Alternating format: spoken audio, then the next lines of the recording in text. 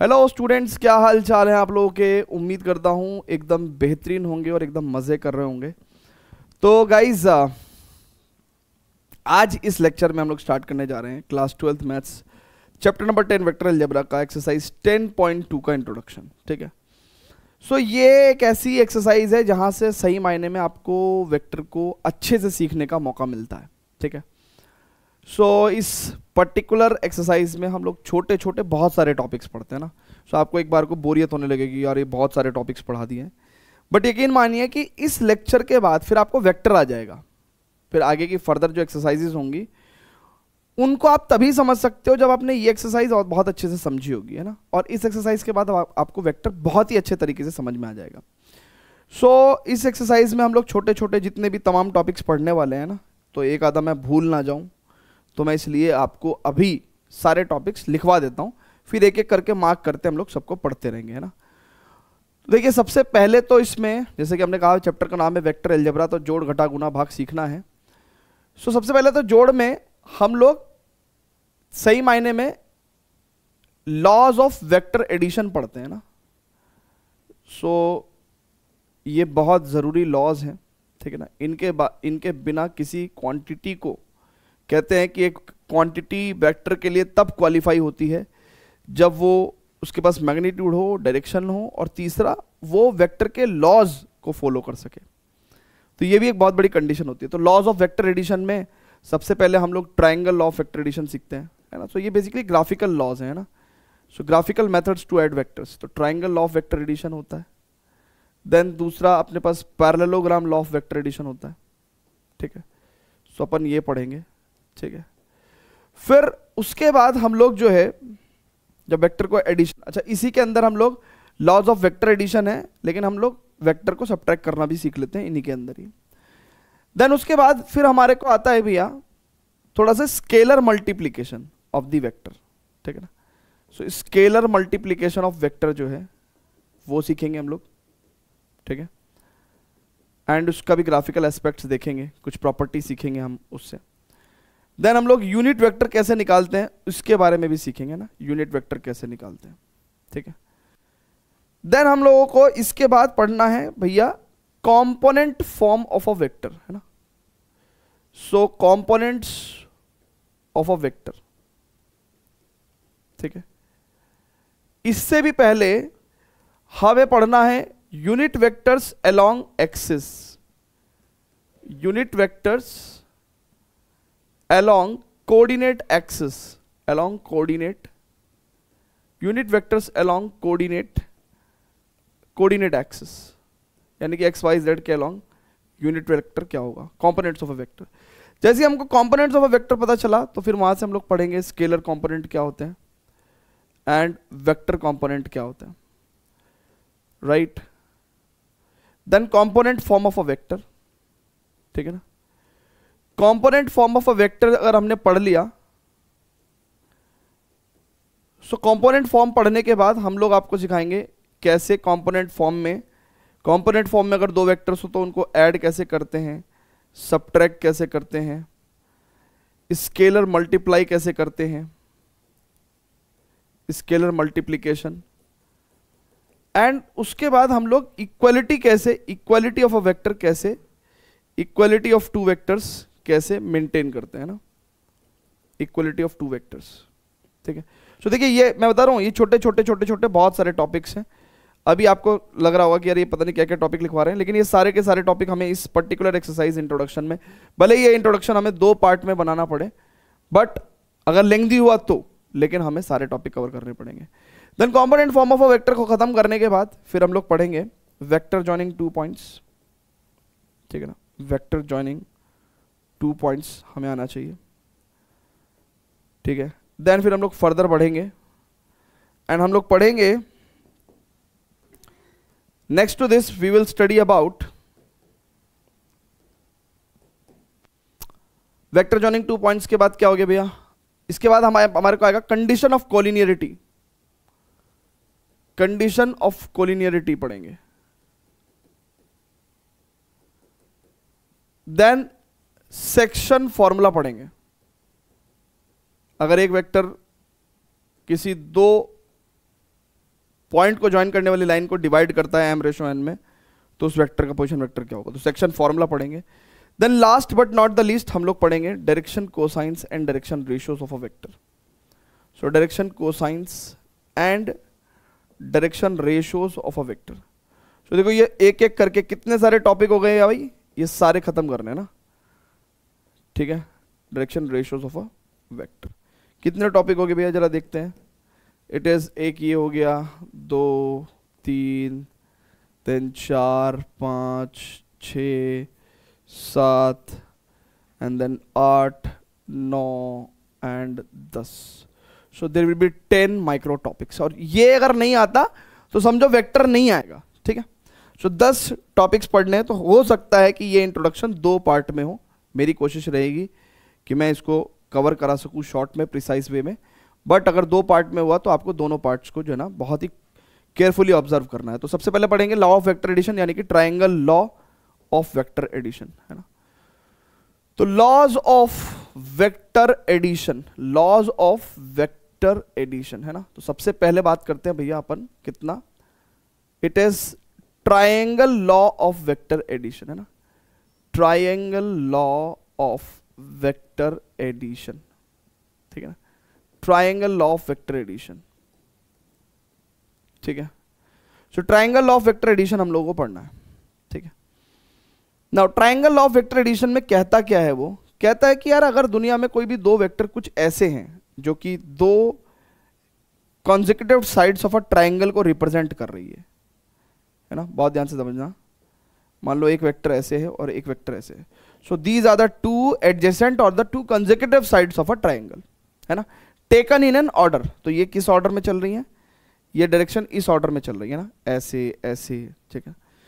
तो कहते हैं कि इनका जो जोड़ है, इनका जो जोड़ है है ना? जोड़, यानी कि A plus B will be represented by कहते हैं कि इनका जो जोड़ है, यानी कि A plus B will be represented by will be represented by third side of the triangle taken in the reverse order यानी कि a प्लस बी देखिए, अगर किसी ट्राइंगल की दो साइड्स कंजिक्यूटिव साइड्स ऐसे हैं कि ए वेक्टर और बी वेक्टर और इस ऑर्डर में ले रहे हैं। So third side of the triangle taken in the reverse order will represent the addition of two vectors A plus B vector ठीक है ना? तो इसकी डेफिनेशन लिखते हैं हम लोग। क्या डेफिनेशन लिखते हैं भैया? बहुत ही ध्यान से देखिएगा। इसकी डेफिनेशन लिखते हैं दादा। इसकी डेफिनेशन लिखते हैं हम लोग। क्या लिखते हैं?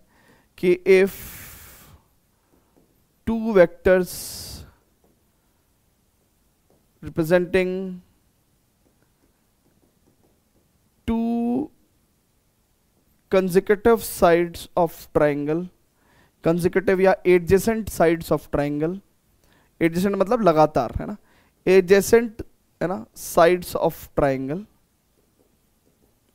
taken in an order taken in an order then their resultant resultant मतलब उनका जोड़ the resultant then the resultant will be represented by will be represented by third side of triangle taken in reverse order then the resultant will be represented by third side of triangle taken in reverse order. Taken in reverse order. So guys बहुत ही ध्यान से समझिएगा आप। ये तो statement है statement की ऐसा कोई औकात नहीं है, ठीक है? मेन तो ये है कि हम लोगों को ये लॉजिक समझ में आए कि भाई अगर दो sides of a triangle are representing two vectors taken in the order taken in an order then the third side of the triangle taken in the reverse order will represent the addition of two vectors ठीक है? ये basically logic है। Clear है भैया? Clear है? जल्दी से बताइएगा? वेरी गुड नाउ अब parallelogram law of vector addition क्या है? Parallelogram law of vector addition क्या है भैया? It is parallelogram parallelogram law of vector addition parallelogram law of vector addition. ठीक है? Parallelogram law of vector addition क्या है भैया? बहुत ही ध्यान समझिएगा। इट इज़ कहता है कि अगर दो वेक्टर किन्हीं दो साइड्स ऑफ़ पैरेललोग्राम को रिप्रेजेंट करता है। यानी कि ये दो वेक्टर्स बेसिकली दो एडजेसेंट साइड्स ऑफ़ पैरेललोग्राम को रिप्रेजेंट कर रहा है। देन देयर रिजल्टेंट यानी कि their addition will be represented by the diagonal of this parallelogram है ना? राइट सो टेक्निकली इसमें और इसमें कुछ फ़र्क नहीं है। अगर आप ये ए वेक्टर है तो ये वेक्टर और ये वेक्टर भी बेसिकली बी वेक्टर ही होगा। अगर ये वेक्टर बी वेक्टर है तो ये भी बी वेक्टर होगा। सो so, ये एक, है ना? एक, अगर हम लोग इसको एक ट्राइंगल कंसिडर कर लें, है ना? इसको ट्राइंगल कंसिडर कर लें so A vector plus B vector will be third side of the triangle taken in the reverse order so technically दोनों लॉज हैं ही but in terms of parallelogram we can see this like this ठीक है ना? हम लोग इसको ऐसे देख सकते हैं। ठीक है? सो so, यहाँ पे पैरेललोग्राम लॉ में है ना एक छोटा सा स्टेटमेंट अगर हम लोग लिखना चाहें कि if two vectors representing co-initial sides of parallelogram of parallelogram then their resultant यानी कि उनका जोड़ resultant will be along the diagonal of parallelogram will be representing then the resultant will be the, then then their resultant will be along नहीं लिखूँगा then their resultant will be represented by represented by diagonal of the parallelogram diagonal of the parallelogram with same initial point मतलब वो वाला diagonal जो कि उसी initial point से ही ओरिजिनेट हो रहा हो ठीक है ना सो so, ऐसे में ग्राफिकली हम लोग वेक्टर्स को जोड़ना सीख। गए कोई हमें कहेगा कि सर क्या आपको वेक्टर्स को घटाना आता है? हाँ जी आता है। अगर ये ए वेक्टर है और लेट्स से ये बी वेक्टर है तो बी वेक्टर के ऑपोजिट बहुत ध्यान समझना।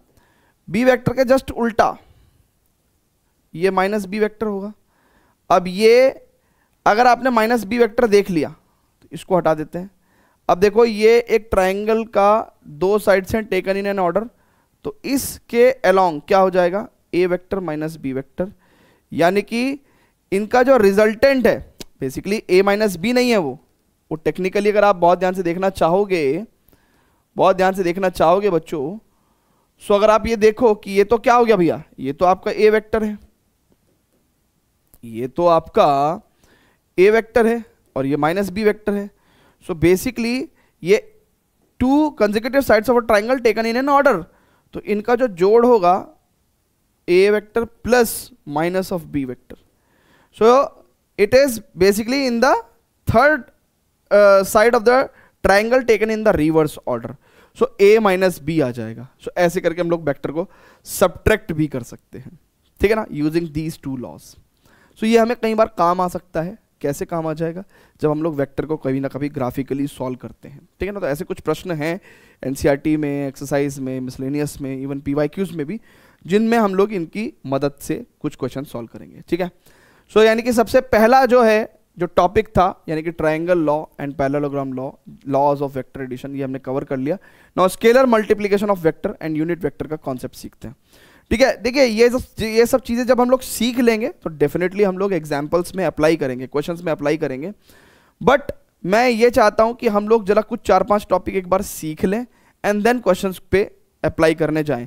एक एक क्वेश्चन को करेंगे, फिर अप्लाई एक एक कॉन्सेप्ट पढ़ेंगे क्वेश्चन को अप्लाई करने जाएँगे, मज़ा नहीं आएगा ना तो चार पाँच कॉन्सेप्ट एक साथ इकट्ठे सीख लेते हैं, ठीक है? चलिए स्टूडेंट्स तो आगे बढ़ते हैं, ठीक है? फटाफट से pause the video note it down very good बहुत बढ़िया। नाउ फर्दर प्रोसीड करते हैं। नाउ बात करते हैं scalar multiplication of a vector है ना? Scalar multiplication of vector so scalar multiplication मतलब एक रियल स्केलर क्या होता है? एक नंबर बेसिकली मैथमेटिक्स में स्केलर क्वांटिटी कौन सी भी होती है? नंबर्स ठीक है ना? सिंपल नंबर दो, तीन, चार, पाँच all the real numbers can be considered as scalar so scalar multiplication of vector तो यानी कि देखिए बहुत ध्यान से। लेट्स से कोई वेक्टर है ए वेक्टर, ठीक है? ठीक है दिस इज़ है ना? या लेट्स से एक काम करते हैं, ये वेक्टर है ए वेक्टर, ठीक है?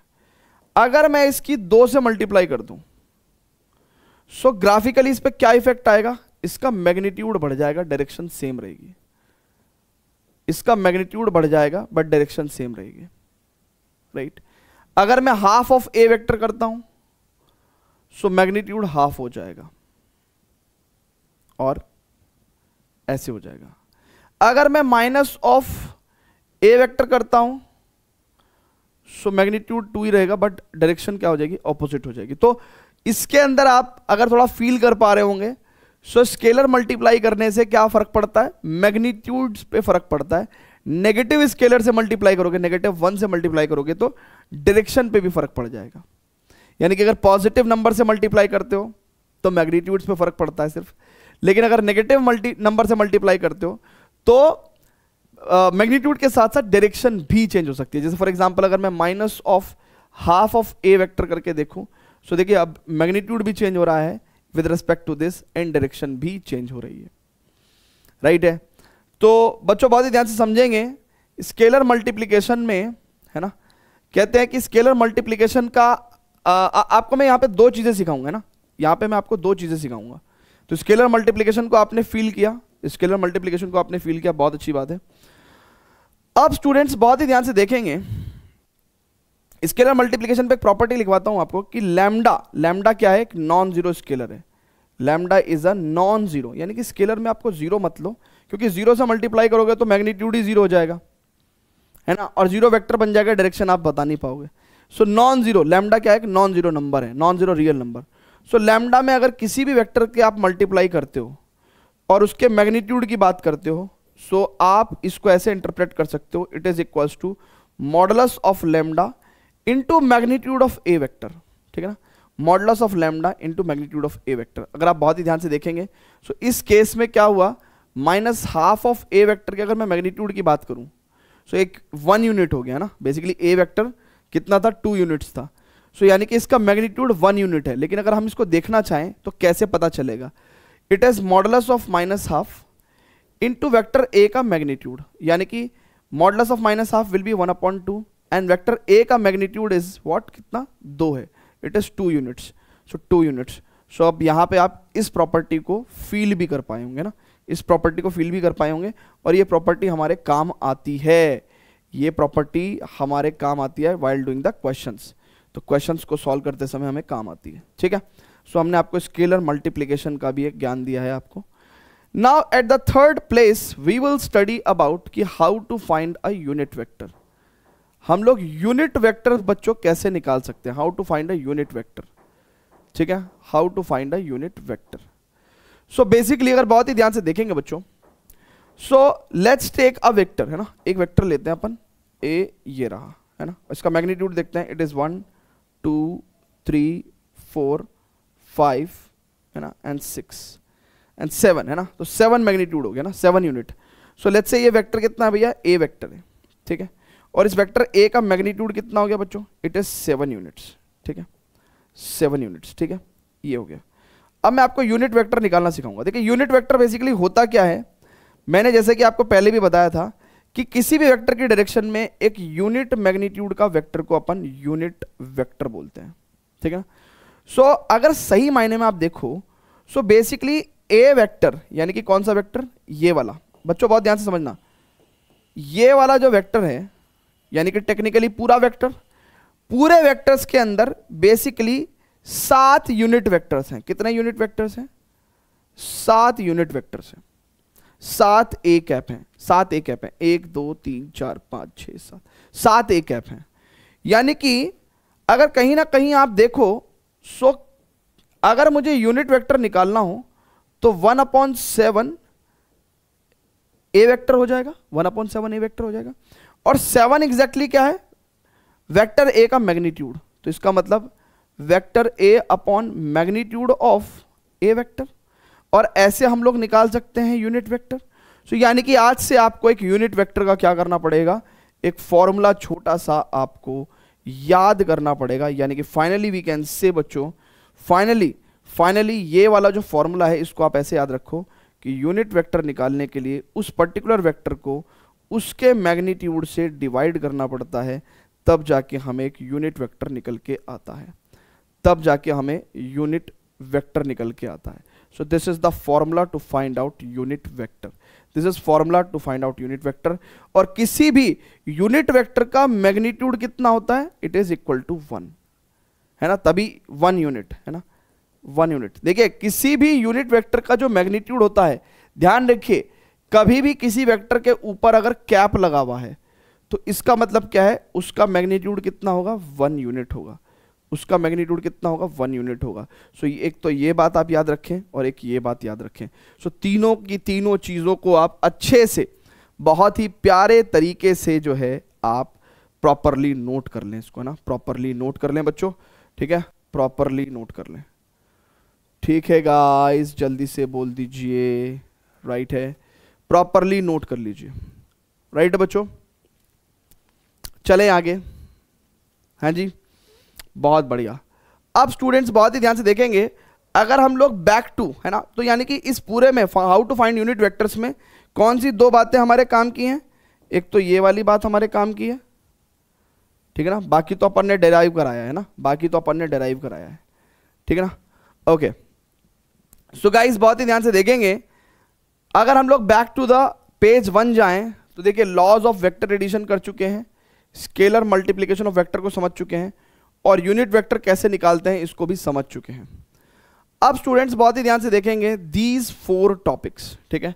यानी कि vector unit vector along the coordinate axis components of a vector scalar components vector components component form of a vector, and vector joining two points. Now, we will study these four topics, है ना? But before that, students, please pause the video and note it down, है ना? इस particular page को आप note करिएगा please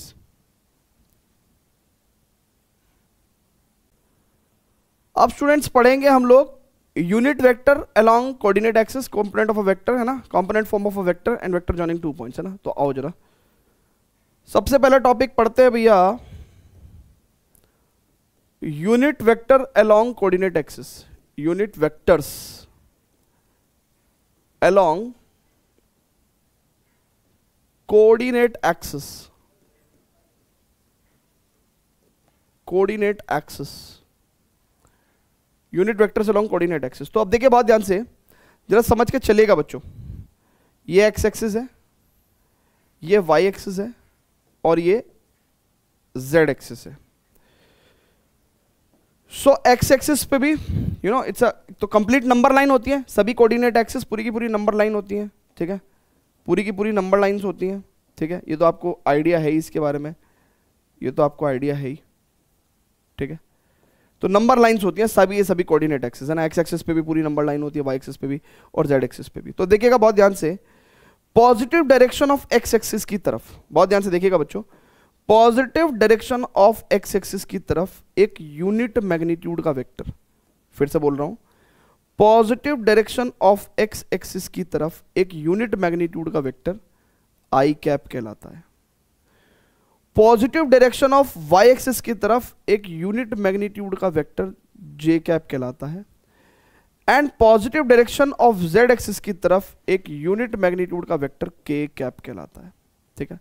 इनकी direction opposite कर दोगे मान लो अगर मैं नेगेटिव एक्स एक्सिस को ड्रॉ करने लगूं यानी कि लेट्स से ये सो नेगेटिव एक्स एक्सिस की डायरेक्शन में बी नंबर लाइन होगी ठीक है ना? बी नंबर लाइन होगी। सो so, अगर पॉजिटिव एक्स एक्सिस की डायरेक्शन में आई कैप है तो नेगेटिव एक्स एक्सिस की डायरेक्शन में एक यूनिट मैग्नीट्यूड का वेक्टर कैसा हो जाएगा बच्चों? Negative I cap similarly negative Y axis की डायरेक्शन में minus J cap and negative Z axis की डायरेक्शन में माइनस के कैप है ना? सो बेसिकली ये I cap J cap K cap क्या है? ये unit vectors along the coordinate axis ठीक है? So to to feel to make you guys feel more है ना? सो आई कैप क्या है? It is a unit vector unit vector along along positive direction of X axis ठीक है? J cap J cap is unit vector along positive direction of Y axis and K cap is unit vector along positive direction of Z axis अच्छा बच्चों, अगर मैं एक बहुत ही basic सा क्वेश्चन अगर आपसे पूछ लूँ, अगर मैं एक बहुत ही बेसिक सा क्वेश्चन आपसे पूछ लूँ तो क्या आप मुझे बताओगे? क्या? कि अगर मैं मैग्नीट्यूड ऑफ़ आई कैप पूछूँ तो कितना होगा? अरे यूनिट वेक्टर के मैग्नीट्यूड हमेशा वन होते हैं। सो आई कैप जे कैप और के कैप इन सभी के मैग्नीट्यूड हमेशा क्या होंगे? वन होंगे। है ना? तो ये बात आपको पता होनी चाहिए। ठीक है। नाउ अब बच्चों, बहुत ही ध्यान से समझिएगा। हम लोग बात करते हैं component form of a vector पे। किस पे बात करते हैं हम लोग? Component form of a vector पे। ठीक है? Component form of a vector पे। ठीक है? अब बच्चों बहुत ही ध्यान समझिएगा। Component form of a vector समझाने के लिए let's say position vector of a point लेता हूँ मैं ना। पोजीशन वेक्टर मैं पोजीशन वेक्टर पहले भी बता चुका हूँ बट मैं फिर से बता रहा हूँ ना। Position vector of point P ठीक है? Position vector of point P so let's take this is X axis this is Y axis and this is Z axis ठीक है? And there is a point P in space X Y Z ठीक है ना? You know that कि this is origin and origin से P point का vector is called as position vector position vector of point P is OP vector ठीक है ना? No OP vector को अगर हम लोग कॉम्पोनेंट फॉर्म में डिस्क्राइब करना चाहें तो हम लोग क्या बोलेंगे?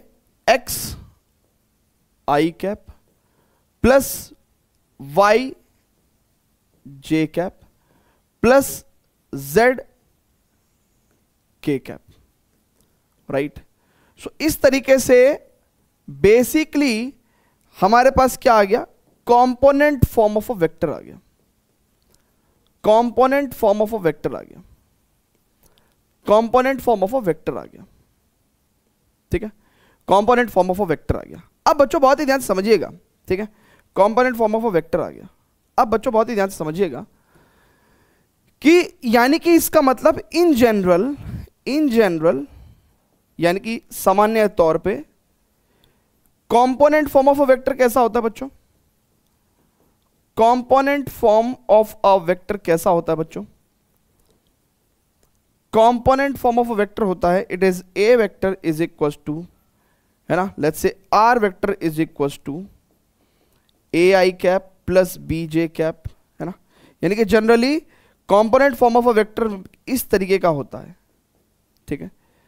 R vector is equal to A I cap R vector is equal to A I cap B J cap plus C K cap जिसमें कि इस वेक्टर के, इस वेक्टर के अगर कोई मेरे से पूछे कि भैया स्केलर कंपोनेंट्स बताओ स्केलर कंपोनेंट्स बताओ। ठीक है? इस वेक्टर के स्केलर कंपोनेंट्स बताओ। तो स्केलर कंपोनेंट्स में क्या बताऊँगा बच्चों? इट इज़ ए बी और सी यानी कि ए बी और C these are the scalar components of R vector लेकिन अगर कोई मेरे से पूछे कि भैया मुझे इसी वेक्टर के, इसी वेक्टर के वेक्टर कंपोनेंट्स बताओ। Vector components of R vector vector components of R vector तो vector components of R vector में मैं क्या बताऊँगा? बहुत ही ध्यान से समझेंगे।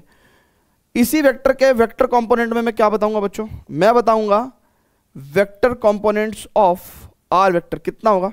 बहुत ध्यान से देखेंगे, बहुत ध्यान से देखेंगे बच्चों। यानी कि ये जो वेक्टर मैंने जिसका ज़िक्र किया है, ये जो वेक्टर मैंने ज़िक्र किया है जिसका, इसके वेक्टर कंपोनेंट्स क्या होंगे? वेक्टर कंपोनेंट्स होंगे A I cap right B J cap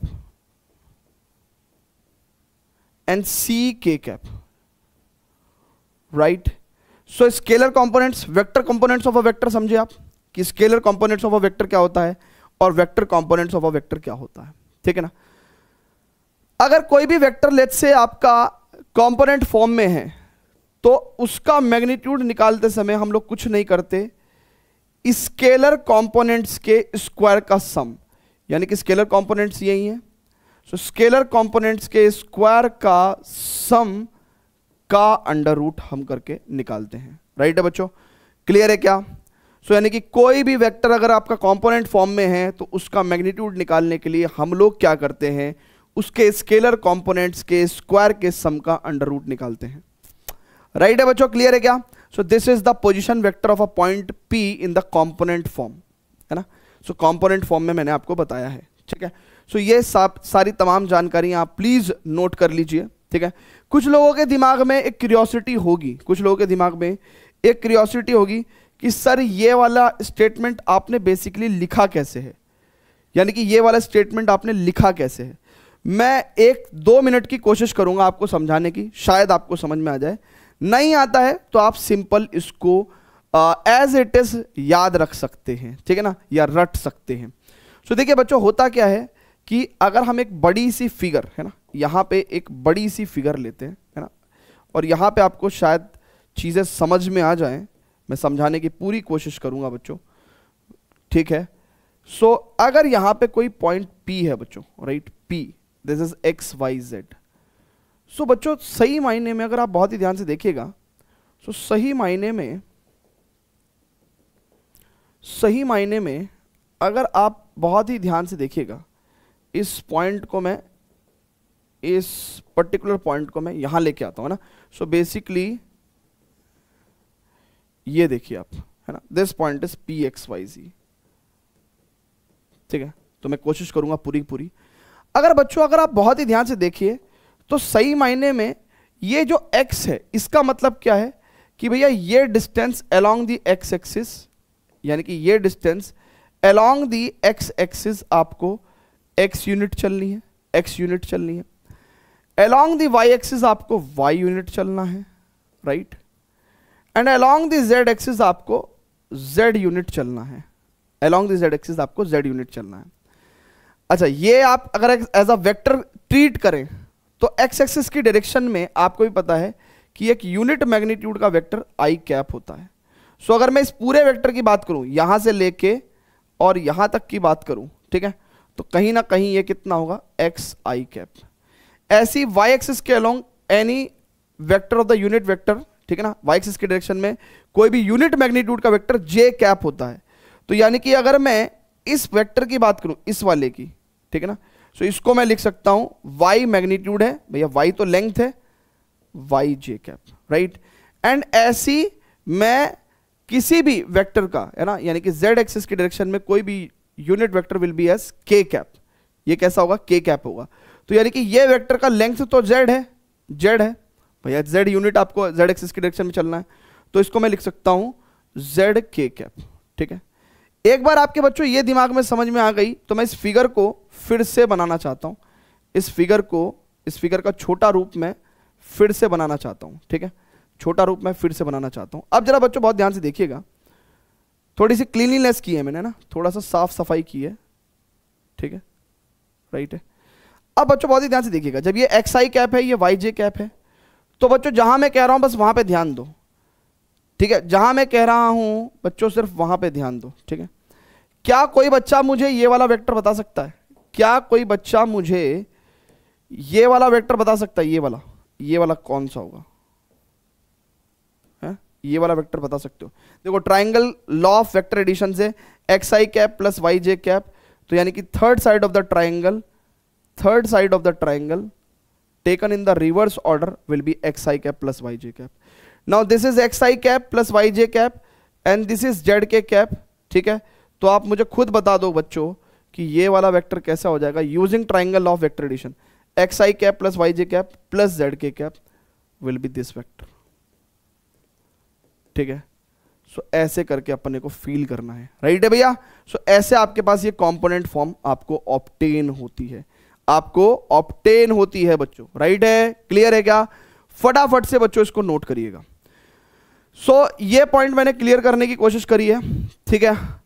and please uh, आप ये पूरा का पूरा ज्ञान नोट करिए। अब हम लोग पढ़ेंगे कि अगर दो वेक्टर्स कंपोनेंट फॉर्म में दिए हुए हैं तो उनको जोड़ते कैसे हैं घटाते कैसे हैं किसी नंबर की मल्टीप्लाई कैसे करते हैं उनकी इक्वालिटी कैसे स्टैब्लिश करते हैं और वेक्टर जॉइनिंग टू पॉइंट्स भी कैसे निकालते हैं ना? सो so, फटाफट से प्लीज़ नोट करिएगा। Pause the video note it down very good ठीक है? ये भी आप नोट कर लीजिए अगर आप कर सकते हैं तो। राइट है बच्चों? वेरी गुड सो अब स्टूडेंट्स बहुत ही ध्यान से समझिएगा। अगर to vectors if let's say A vector is equal to A one I cap plus B one J cap plus C one K cap and B vector is equal to A two I cap plus B two J cap plus C two K cap right है?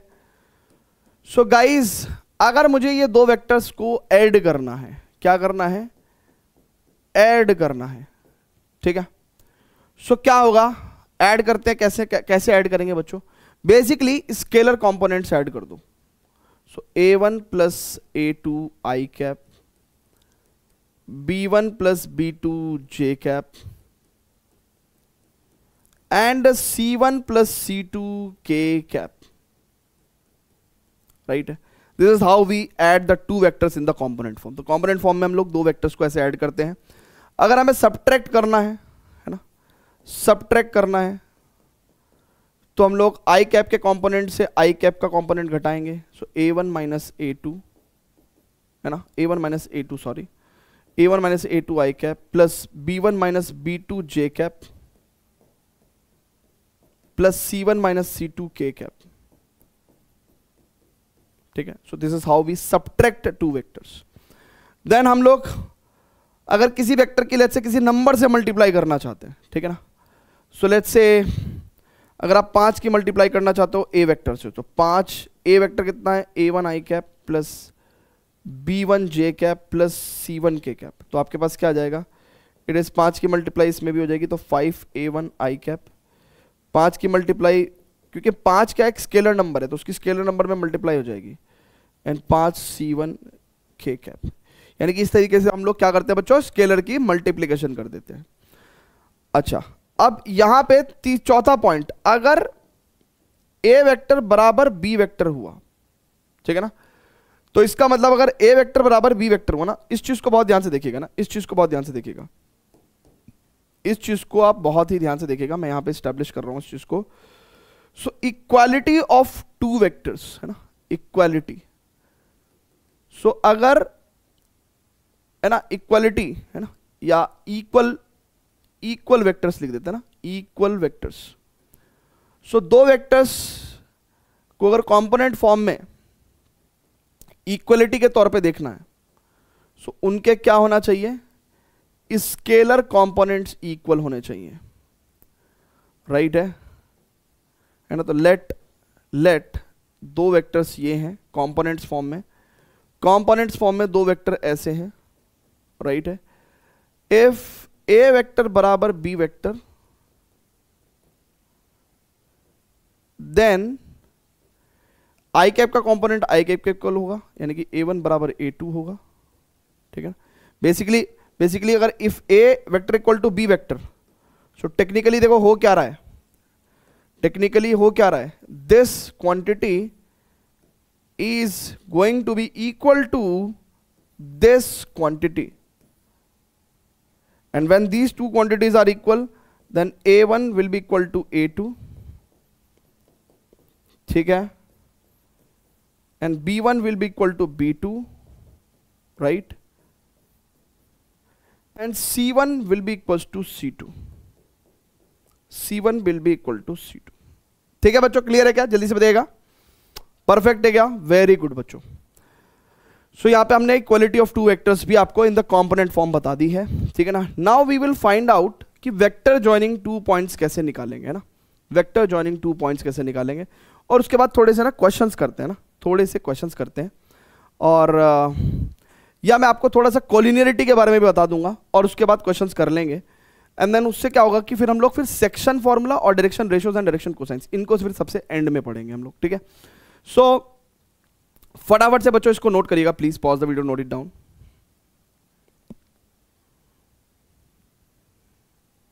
very good बच्चों very good चलिए तो vector joining two points ठीक है? Vector joining two points vector joining two points so मान के चलिए दो पॉइंट्स आपको दे रखे हैं and let's say one of the point is A X one Y one Z one है ना? So, जैसे कि मैंने आपको कहा कि वेक्टर को हम लोग थ्री पर्सपेक्टिव से पढ़ते हैं ठीक है? So X two Y two Z two ठीक है ना? ऐसा नहीं है कि टू डी वैक्टर्स नहीं होते है ना? टू डायमेंशनल वैक्टर्स भी हो सकते हैं ठीक है? एक्स वाई प्लेन पे वाई जेड प्लेन पे जेड एक्स प्लेन पे।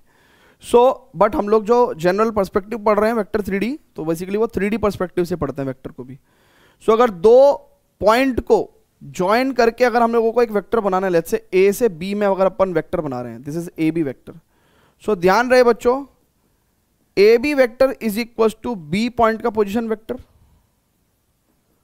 और ए पॉइंट का पोजिशन वैक्टर है ना? ऐसा होता है. सो so, कहने का मतलब अगर कोई मेरे से, किसी से मैं पूछूँ कि बी पॉइंट का पोजिशन वेक्टर कितना होगा? भैया अगर मैं आपसे पूछूँ लेट्स से मैं अगर मैं आपसे पूछूँ कि ए पॉइंट का पोजिशन वेक्टर कैसा होगा? तो भैया X one I cap plus Y one J cap plus Z one K cap और बी पॉइंट का पोजिशन वेक्टर कितना होगा? X two I cap plus Y two J cap plus Z two K cap ठीक है? तो position vectors लिखने सिखा दिया आपको। अच्छा कभी भी अगर ए बी वैक्टर निकलना है तो इसका मतलब क्या है? बी पॉइंट का position vector minus A point का पोजिशन वेक्टर एंड जब आप इसको सॉल्व करोगे, जब आप इसको सॉल्व करोगे तो आप इसको ऐसे भी इंटरप्रेट कर सकते हो कि ए बी वैक्टर को आप ऐसे भी लिख सकते हो कि भैया बी पॉइंट के कोऑर्डिनेट्स में से एक्स ए पॉइंट के कोऑर्डिनेट्स को सब्ट्रैक्ट करना है ना? तो X two minus X one I cap plus Y two minus Y one J cap right and plus Z two minus Z one K cap ठीक है बच्चों? सो so, ऐसे करके आप इसको दिमाग में सेट रख सकते हैं ना कि भैया how to find out two vectors है ना? सो ये how to find out two vectors आप ऐसे भी रख सकते हो। ठीक है? दिमाग में। क्लियर है क्या? So vector joining two points मैंने आपको बताया है। वेक्टर ज्वाइनिंग टू पॉइंट्स मैंने आपको बताया है। ठीक है? So these all the things we will use in the questions है ना? क्वेश्चन में हम लोग इसका इस्तेमाल करेंगे। ठीक है? क्वेश्चन में हम लोग इसका इस्तेमाल करेंगे। नाउ एक लास्ट टॉपिक पढ़ते हैं एक लास्ट टॉपिक पढ़ते हैं that is the topic of collinearity कि भैया दो वेक्टर्स अगर कोलिनियर होंगे तो क्या होगा है ना? दो वेक्टर्स अगर कोलिनियर होंगे तो क्या होगा? ठीक है ना? कोलिनियरिटी के बारे में पढ़ेंगे। आ, क्या कोलिनियरिटी के बारे में पहले से पढ़ सकते हैं? हम्म, एक बार डायरेक्शन रेशियोज बताने पड़ेंगे ना फिर बड़ा फिर बताते हैं आपको कोलिनियरिटी ठीक है ना? सो so, यहीं तक आप इसको नोट कर लो। अब हम लोग थोड़े से क्वेश्चंस करेंगे ना थोड़ा कुछ क्वेश्चंस करेंगे। थोड़ा कुछ क्वेश्चंस करेंगे ठीक है? चलिए। सो so, कुछ क्वेश्चंस करते हैं पहले है ना? ओके आ जाओ भैया। एग्ज़ाम्पल नंबर फोर आपके सामने है। वो कहता है कि define the values of x y and z so that vector a and vector b are equal so अपने को क्या दिया हुआ है भैया? ये गिवन है यानी कि वेक्टर ए और वेक्टर बी इक्वल है। वेक्टर ए के कंपोनेंट्स क्या है? X i cap plus plus plus plus plus two j cap plus z k cap and b vector का कंपोनेंट क्या है? Two i cap plus y j cap plus k cap ठीक है ना? These two vectors are equal vectors ठीक है? So so, इसका मतलब ये कंपोनेंट इसके इक्वल होगा आई कैप वाला आई कैप के इक्वल होगा। ठीक है? And two will be equal to y तो जे कैप वाला कंपोनेंट जे कैप के कंपोनेंट के इक्वल होगा तो y equal to two and k cap वाला कंपोनेंट के कैप के कंपोनेंट तो यहाँ पे जेड है, और यहाँ पे के कैप का कंपोनेंट क्या माना जाएगा? प्लस वन ठीक है ना? So this are the three values x equal to two y equal to two and z is equal to one clear है बच्चों? जल्दी से बताइएगा। परफेक्ट है क्या? है जी। परफेक्ट है। जल्दी से बता दो गाइस है ना? चलें क्या आगे? परफेक्ट है भाई मामला। वेरी गुड अब आगे चलते हैं। फिफ्थ एग्ज़ाम्पल पे चलते हैं। कह रहा कि भैया एग्ज़ाम्पल नंबर फाइव में कहता है कि let a vector and b vector are this vectors है ना? सो ए वेक्टर कितना हो गया भैया? I plus two j cap and b vector कितना हो गया भैया? It is two i plus j cap ठीक है? कहता है कि भैया is a vector equal to b vector तो क्वेश्चन पूछा है उसने। Is magnitude of a vector is equal to magnitude of b vector अब देखिए, ये हमसे जब सवाल पूछा है तो हम लोग सबसे पहले मैग्नीट्यूड ऑफ़ ए वेक्टर निकालते हैं। So magnitude of a vector कितना होगा भैया? आई कैप का कंपोनेंट का स्क्वायर यानी कि स्केलर कंपोनेंट्स के स्क्वायर का अंडर रूट ऐसे ही आएगा। एंड बी वेक्टर का मैग्नीट्यूड कितना होगा? स्केलर कंपोनेंट्स के स्क्वायर्स का सम का अंडर रूट है ना? सो so, दो दूनी चार एक पाँच यानी कि ये भी अंडर रूट फाइव हो गया और ये भी अंडर रूट फाइव हो गया। So yes yes magnitude of a vector will be equal to magnitude of b vector अच्छा। फिर उसने एक दूसरा क्वेश्चन पूछा है उसने दूसरा क्वेश्चन पूछा है क्या पूछा भैया? कि भैया are the vectors a and vector b equal है? क्या ये इक्वल है? Are vector a and vector b equal है? बताओ। सो देखिए, दो वेक्टर ज़िंदगी में हमेशा ऐसा नहीं है कि अगर मैग्नीट्यूड इक्वल हो गया तो दोनों वेक्टर इक्वल हो जाएँगे। डायरेक्शन भी इक्वल होनी चाहिए। बट अब डायरेक्शन का आइडिया तो हमको मिलेगा नहीं भाई। कोई वेक्टर हमें उसने ड्रॉ करके थोड़ी दिया हुआ है तो डायरेक्शन का आइडिया कैसे लगेगा? सो देखिए डायरेक्शन का आइडिया नहीं लग सकता, लेकिन हमारे पास क्या है कि दोनों वेक्टर्स जो हैं, वो कंपोनेंट फॉर्म में दिए हुए हैं। ठीक है? कंपोनेंट फॉर्म में दिए हुए हैं। नाउ वी कैन से कि भैया रेस्पेक्टिव स्केलर कंपोनेंट्स भाई, क्योंकि अगर देखो आप, ये दोनों वेक्टर्स कब इक्वल होते? जब आई कैप का कंपोनेंट वन टू के इक्वल होता। है ना? सो so, मैं कहूँगा कि as scalar components scalar components of a and b vector are not equal. भैया, आई कैप का कंपोनेंट आई कैप के कंपोनेंट के इक्वल नहीं है। जे कैप का कंपोनेंट जे कैप के कंपोनेंट के इक्वल नहीं है। तो इसका मतलब vectors are not equal. So अच्छा ये आई कैप और जे कैप वाली बात मैंने नहीं लिखी है। तो उसको मैं कैसे लिख सकता हूँ? मैं ऐसे लिख सकता हूँ। देखो, उसको मैं ऐसे लिख सकता हूँ। रेस्पेक्टिव वर्ड यूज़ करूँगा मैं ना? Respective word. आपको सर, रेस्पेक्टिव वर्ड का मतलब क्या है? रेस्पेक्टिव का मतलब कि अगर आप आई कैप लोगे तो इधर भी आई कैप का कंपोनेंट लेना। अगर इधर आप जे कैप का कंपोनेंट लोगे तो भी आप जे कैप का कॉम्पोनेंट दूसरे वेक्टर में भी लेना। So as respective scalar components of a vector and b vector are not equal then then a vector is not equal to b vector so a vector b vector के equal नहीं है। Clear है बच्चों? आ रहा है आपको feel आ रहा है, मज़ा आ रहा है पढ़ने में। है ना? चीज़ें समझ में आ रही हैं आपको। वेरी गुड बच्चों। बहुत ही बढ़िया बेटा, है ना? ठीक है? चलें आगे। चलिए साहब चलिए। सो एग्ज़ाम्पल फाइव कर लिया हमने। एग्ज़ाम्पल नंबर सिक्स करते हैं। कहता है find the unit vector in the direction of the vector this so unit vector का भैया हमने आपको फॉर्मूला लिखवाया है है ना? यूनिट वेक्टर का हमने आपको फॉर्मूला लिखवाया कि भैया कोई भी वेक्टर बेसिकली उसके मैग्नीट्यूड की मल्टीप्लाई करते हैं हम उसके यूनिट वेक्टर्स में। सो so, यानी कि ए कैप हमने फॉर्मूला याद रख रखा है कि भैया किसी भी वेक्टर को उसके अगर हम लोग मैग्नीट्यूड से डिवाइड कर देंगे तो हमको यूनिट वेक्टर मिल जाता है, ठीक है? हमको यूनिट वेक्टर का फॉर्मूला ये पता ही है, ठीक है? अब बच्चों बहुत ही ध्यान से समझेंगे, अगर हमें ए कैप चाहिए तो ए वेक्टर तो हमारे पास है। सबसे पहले हम लोग वेक्टर ए का मैग्नीट्यूड निकाल लें, और वेक्टर ए का मैग्नीट्यूड कितना होगा? टू का स्क्वायर प्लस थ्री का स्क्वायर प्लस के कैप का कॉम्पोनेंट वन का स्क्वायर। सो इट इज़ दो का स्क्वायर चार, तीन का स्क्वायर नौ प्लस एक। नौ एक दस और चार, चौदह, स्क्वायर रूट ऑफ़ चौदह। सो इसका मतलब क्या हुआ भैया? ए कैप जो है, भैया ए कैप जो है, वो कैसा है? ए वेक्टर यानी कि two i cap plus three j cap plus k cap divided by a vector का मैग्नीट्यूड यानी कि square root of fourteen so a cap will be is equal to two upon root fourteen i cap plus three upon root fourteen j cap plus one upon root fourteen k cap ठीक है? क्या बात है? वाह वाह वाह वाह। So this is the a cap vector अगर आपको थोड़ा सा मैजिक देखना है तो आप देख सकते हो क्या? कि जब आप इस वेक्टर का मैग्नीट्यूड निकालोगे ना यानी कि मैग्नीट्यूड क्या होगा? स्केलर कंपोनेंट्स का स्क्वायर तो यानी कि चार बटे चौदह प्लस नाइन बटे चौदह प्लस एक बटे चौदह और ये इवेंचुअली कितना आ जाएगा? आपके पास वन आ जाएगा। अगर आपको ऐसे चेक करके देखना है, ठीक है? यूनिट वेक्टर्स का जो यूनिट वेक्टर जो होते हैं ना, उसका मैग्नीट्यूड हमेशा वन होता है। हमेशा वन होता है, ठीक है? क्लियर है गाइस जल्दी से बोलो, जल्दी से बोलो, है ना? तो अपने को यूनिट वेक्टर पूछा गया था। चलें भाई आगे चलेंगे क्वेश्चंस आगे कर देंगे फर्दर प्रोसीड कर देंगे very good so example number six भी हमने कर दिया है, ठीक है? नाउ एग्ज़ाम्पल नंबर सेवन को ट्राई करते हैं ना। एग्ज़ाम्पल नंबर सेवन को ट्राई करते हैं। सो एग्ज़ाम्पल नंबर सेवन कैसा होगा भैया? It is find a vector in the direction of a vector that has magnitude of seven units तो आपको डायरेक्शन तो यहाँ से लेनी है।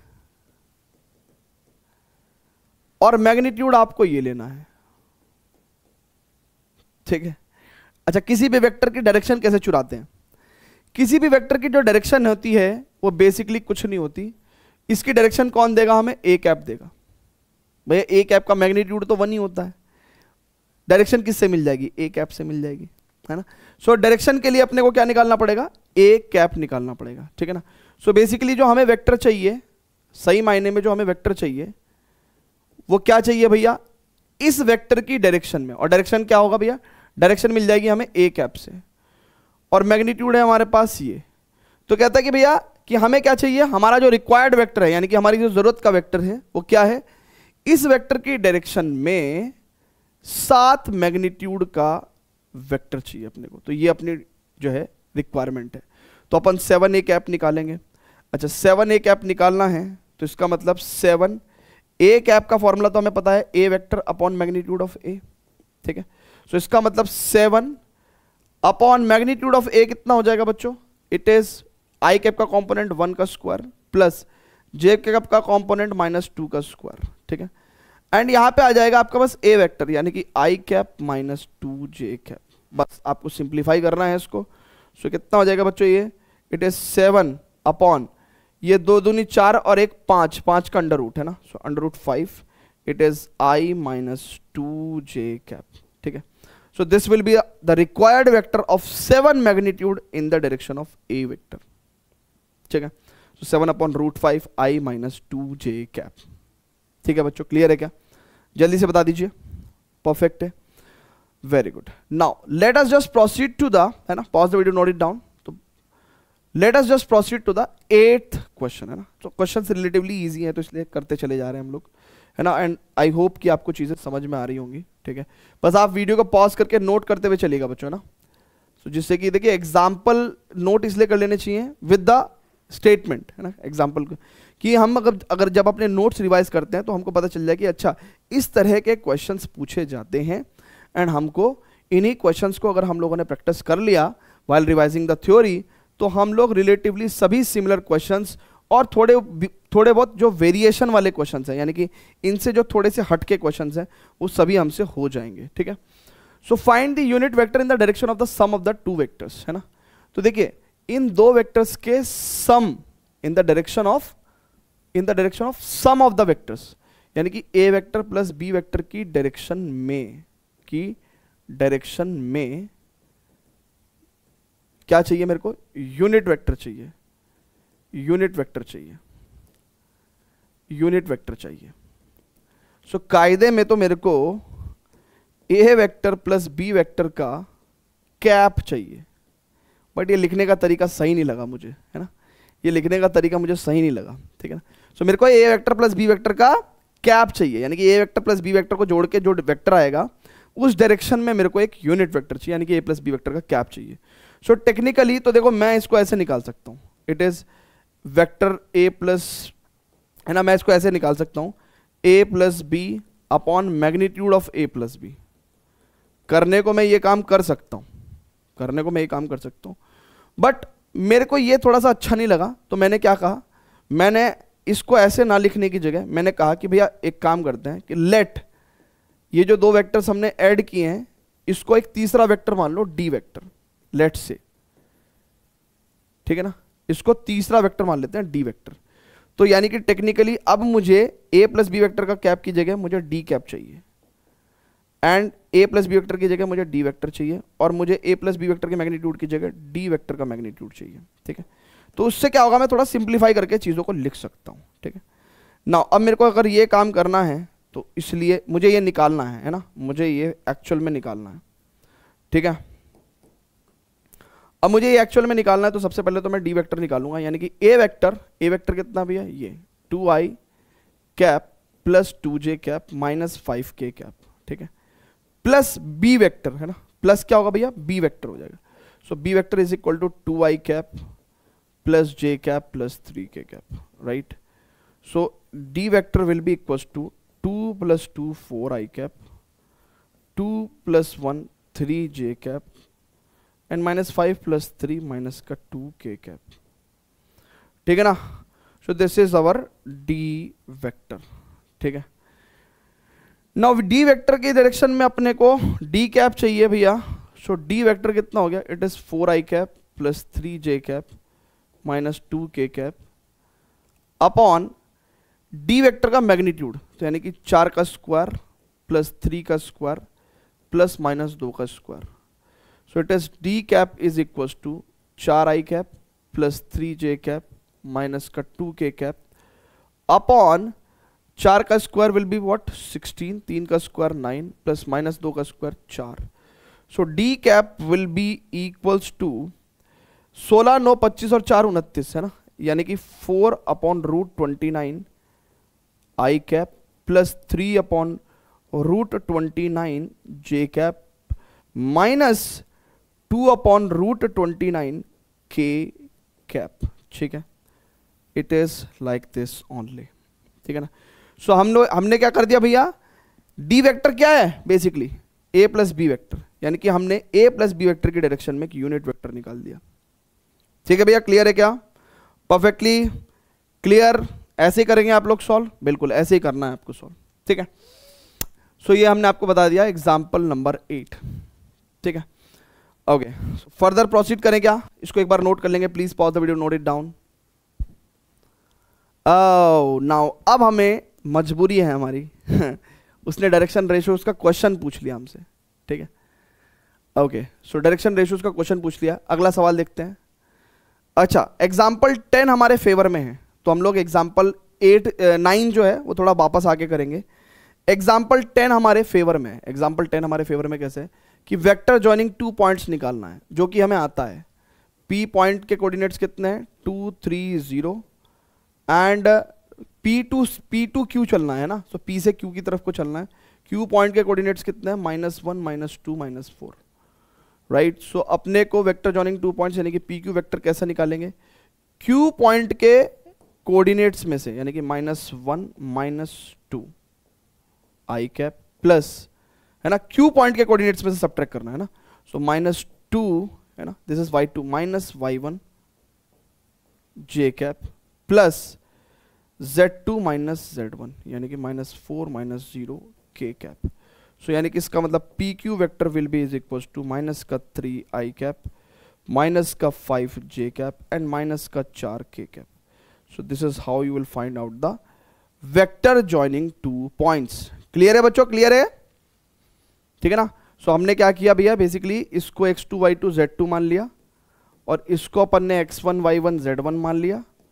सो so, क्योंकि हमको P से लेके Q वेक्टर चाहिए था ना P से Q तो अपन पी क्यू वेक्टर को क्या करते? क्यू पॉइंट के कोऑर्डिनेट्स में से यानी कि क्यू पॉइंट के कोऑर्डिनेट्स में से पी पॉइंट के कोऑर्डिनेट्स को घटाते। ठीक है ना? सो अपन ने यही काम किया भैया और कुछ नहीं किया है। ठीक है भैया? क्लियर है क्या? जल्दी से बोल दो ना। हाँ जी परफेक्ट है क्या? जल्दी से बोल दो। वेरी गुड बच्चों। अब स्टूडेंट्स बहुत ही ध्यान से देखेंगे गाइस बहुत ही ध्यान से देखेंगे गाइस है ना? बहुत ही ध्यान से देखेंगे। फर्दर प्रोसीड करते हैं। फर्दर प्रोसीड करते हैं। ठीक है? So example number ten is this ठीक है? परफेक्ट है क्या? वेरी वेरी गुड बहुत ही बढ़िया बहुत ही बढ़िया। चलिए आगे बढ़ते हैं। नाउ स्टूडेंट्स फर्दर प्रोसीड करते हैं। एग्ज़ाम्पल नंबर 11 पे प्रोसीड करते हैं ना। सो ये this is the section formula का question and the vertex of a right angle triangle okay ठीक है। सो so, अब थोड़ा सा हमें क्या सीखना पड़ेगा? Section formula direction ratios and direction cosines and collinearity of three points भी हम लोग सीखेंगे ठीक है? सो so, अगर हम लोग अपने फ़र्स्ट पेज पे चले right the very first page बच्चों। तो अगर आप बहुत ही ध्यान से देखो तो हम लोग सब कुछ पढ़ चुके हैं सभी टॉपिक्स पे प्रश्न भी कर चुके हैं। Now it's our duty we can say it's now our duty to uh, study the direction cosines and direction ratios of vector section formula and the condition of collinearity ठीक है? सो so, ये तीन topics पढ़ेंगे हम लोग ठीक है? And then उनके ऊपर क्वेश्चन करेंगे। तो सबसे पहले तो पढ़ते हैं, क्या चीज़ भैया? Direction cosines and direction ratios of a vector ठीक है? तो direction cosines and direction ratios of a vector पढ़ते हैं। ठीक है? फिर उसके ऊपर सवाल करेंगे। अच्छा direction cosines and direction ratios का काफ़ी यूज़ है थ्री में। तो हम लोग ये टॉपिक एक बार फिर से थ्री डी ज्योमेट्री में भी पढ़ेंगे। ठीक है? लेकिन अगर जिसको आज समझ में नहीं आया, उसको थ्री में भी समझ में नहीं आएगा, क्योंकि थ्री में हम लोग आज का ही रेफरेंस की बात करेंगे। ठीक है ना भैया? So direction cosines and direction ratios of a vector है ना? डायरेक्शन कोसाइंस देखिए, होता क्या था कि आप ऐसा मान लो डायरेक्शन कोसाइंस एंड आप ऐसा मान लो कि दो देशों का युद्ध हुआ, ठीक है? दो देशों का युद्ध हुआ, ठीक है? अब जो मिसाइल है है ना? Direction cosines and direction ratios of a vector so जो मिसाइल है, अब मिसाइल किस डायरेक्शन में छोड़ी जाए? मिसाइल की डायरेक्शन बहुत इंपॉर्टेंट है है ना? पता चले है ना? कि भैया उस देश की जगह कहीं और ही मिसाइल लग गई। तो मिसाइल जो है राइट right डायरेक्शन में जानी चाहिए। So direction cosines and direction ratios of a vector है ना? तो देखिए डायरेक्शन कोसाइंस का थोड़ा सा पहले बात करते हैं कि यार ये इंपॉर्टेंट क्यों है पढ़ना है ना? सो so, देखिए अगर आप बहुत ही ध्यान से समझिए कि इंपॉर्टेंट एक एक एक बहुत ही अच्छा एग्ज़ाम्पल हम लोग ले सकते हैं। जैसे फॉर एग्ज़ाम्पल दो देशों में लड़ाई हुई। अब एक देश जो है वो दूसरे देश पे मिसाइल छोड़ रहा है। सो मिसाइल की डायरेक्शन को सेट करना पड़ेगा। उसकी स्पीड को सेट करना पड़ेगा है ना? नहीं तो दूसरे देश में भी जा सकती है मिसाइल है ना? फिर युद्ध और बढ़ जाएगा। तो यानी कि ये तो एक एस्पेक्ट बताया मैंने ठीक है? रॉकेट को लॉन्च करते हैं हम लोग है ना? कि भैया आसमान में जाएगा किस डायरेक्शन में करना है है ना? सो so, इसीलिए थ्री स्पेस में एक मिसाइल को या एक रॉकेट को अपन एक वेक्टर के तौर पे मान सकते हैं स्टैटिक पोजीशन में। तो डायरेक्शन कैसे हम लोग सेट कर सकते हैं और लोग आपस में कम्युनिकेट कर सकते हैं? ठीक है? कि भाई डायरेक्शन ये रहेगी। सो डायरेक्शन मेजर करने के लिए कोई टूल होना चाहिए। सो देखो टू डायमेंशनल ज्योमेट्री में तो टूल था, है ना? अगर टू डायमेंशनल ज्योमेट्री की बात करें तो एक लाइन का डायरेक्शन हम लोग with anti clockwise direction from the X axis हम लोग यहाँ से थीटा का टेन मेजर कर लेते थे और टेन थीटा से हमें लाइन का स्लोप पता चल जाता था और स्लोप से हमें उसकी डायरेक्शन का आइडिया होता था कि लाइन बेसिकली किस डायरेक्शन में है ना? और लाइन uh, बेसिकली कैसी है है ना? कितना इंक्लिनेशन है with respect to X axis but three geometry में क्या हो जाता है? प्रॉब्लम बढ़ जाती है. दो एक्सिस की जगह तीन एक्सिस होते हैं ठीक है ना? सो so, हमें तीनों एक्सिस के रेफरेंस में क्या चाहिए? हमें एंगल्स मेज़रमेंट चाहिए ठीक है ना? सो so, बेसिकली उसी के लिए हम लोग direction ratios and direction cosines पढ़ते हैं तो they help us in the they help us they ये हम लोगों को किसी भी वेक्टर की with respect to the coordinate axis direction measure करने में हमारे काम करते हैं। तो जैसे फॉर एग्जांपल लेट्स से ये O this is Y and this is Z ठीक है ना? अब मिसाइल छोड़ी गई लेट्स से यहाँ से, है ना? मिसाइल छोड़ी गई लेट्स से यहाँ से, ठीक है? This is missile. अब फ्री वेक्टर का कॉन्सेप्ट है, ठीक है ना? डायरेक्शन मेजर करने के लिए अपन इसको यहाँ पे ले गए, ठीक है? नाउ हमने क्या किया भैया? लेट्स से अब हम लोग एक्स एक्सिस के साथ जो एंगल है उसको अल्फ़ा मान रहे हैं वाई एक्सिस के साथ जो एंगल है उसको बीटा मान रहे हैं एंड जेड एक्सिस के साथ जो एंगल है उसको गामा मान रहे हैं ठीक है? सो so, अब अगर मैं बात करूँ कि भाई अगर मैं अब बात करूँ क्या बात करूँ भैया? कि भैया डायरेक्शन कोसाइंस क्या होते हैं है ना? डायरेक्शन कोसाइंस क्या होंगे? सो डायरेक्शन कोसाइंस बेसिकली कुछ नहीं होते। कोसाइन मतलब कॉस कोसाइंस मतलब कॉस थीटा है ना? कोसाइन मतलब cos theta so cos cos theta को मतलब बेसिकली ये शॉर्ट फॉर्म में पढ़ते हैं हम लोग। वैसे पढ़ना क्या चाहिए? कोसाइन ऑफ़ थीटा है ना? तो ये कोसाइन का मतलब cos so direction cosine of A vector क्या रहेगा भैया? ये जो ए वेक्टर ने अल्फ़ा बीटा गामा एंगल बनाया है right these are the angle of inclination इन्हीं के कॉस कॉस थीटा इन्हीं के कॉस क्या कहलाते हैं? डायरेक्शन कोसाइंस कहलाते हैं। So direction cosines are the cosines of the angle of inclination made by a vector with the three different coordinate axis ठीक है? So cos alpha cos beta cos gamma direction cosines of a vector A अब बहुत ही ध्यान समझिएगा, इसको मैं in short मैं एल से डिनोट कर देता हूँ। इसको मैं इन शॉर्ट एम से डिनोट कर देता हूँ। ठीक है ना? इसको मैं इन शॉर्ट एम से डिनोट कर देता हूँ और इसको मैं इन शॉर्ट एन से डिनोट कर देता हूँ। एन से। है ना? स्मॉल एन अब बच्चों, बहुत ही ध्यान से समझिएगा। मैंने आपसे एक बात कही थी। क्या बात कही थी? कि यार, अगर मेरे को डायरेक्शन रेशोज चाहिए, है ना? क्या चाहिए मेरे को? मान लो मेरे को डायरेक्शन रेशोज चाहिए, है ना? अच्छा चलिए, एक एक बात समझिएगा, एक बात समझिएगा। डायरेक्शन कोसाइन अभी कंप्लीट नहीं हुई ना? डायरेक्शन कोसाइन क्या है? Basically cosine of the angle of inclination ठीक है? Cosine of the angle of inclination made by a vector with the X axis Y axis and Z axis so this are called as direction cosines और इनको मैंने L M और N से denote कर दिया। अच्छा एक बहुत ही इंपॉर्टेंट प्रॉपर्टी इन डायरेक्शन कोसाइंस की होती है। इन डायरेक्शन कोसाइंस की होती है। L square plus M square plus N square is equal to one अब बहुत सारे बच्चे कहेंगे कि सर, ऐसा कैसे हो गया? ऐसा कैसे हो गया, है ना? ये ये स्क्वायर्स डायरेक्शन कोसाइंस देखिए मैं क्या कह रहा हूँ, ये प्रॉपर्टी क्या करी है कि डायरेक्शन कोसाइंस के स्क्वायर्स का सम वन होता है। इस बात को शॉर्ट में ऐसे लिखा है लॉन्ग फॉर्मेट में लिखना है तो इसका मतलब ये है। लॉन्ग फॉर्मेट में इसका मतलब क्या है? ये है। वो तो मैंने शॉर्ट फॉर्म में लिख दिया। वो तो मैंने शॉर्ट फॉर्म में लिख दिया। अच्छा अब स्टूडेंट्स बहुत ही ध्यान से देखेंगे, ये ऐसा हुआ कैसे? ये ऐसा हुआ कैसे? मैं आपको थोड़ा फील कराता हूँ। मैं आपको थोड़ा फील कराता हूँ, ठीक है? लेट्स से एक काम करते हैं। ये जो पॉइंट है है ना? ये जो पॉइंट है पी ये एक्स वाई जी है, ठीक है? सो so, इसका मतलब अगर मैं एक परपेंडिकुलर डालूं यहाँ पे ठीक है? सो so, ये वाली जो लेंथ है ये वाई एक्सेस है तो यानी कि ये वाली जो लेंथ है ये स्मॉल वाई हो जाएगी ठीक है ना? और लेट्स से अब मैं कॉस बीटा की बात करता हूँ तो कॉस बीटा कितना हो जाएगा? बेस अपॉन हाइपोटेन्यूस हाइपोटेन्यूस कितना होगा? वेक्टर ए का मैग्नीट्यूड ठीक है? वेक्टर ए का मैग्नीट्यूड ठीक है? बहुत अच्छी बात है। सिमिलरली अगर मैं ऐसा निकाल रहा हूँ तो सिमिलरली कॉस अल्फ़ा कितना हो जाएगा?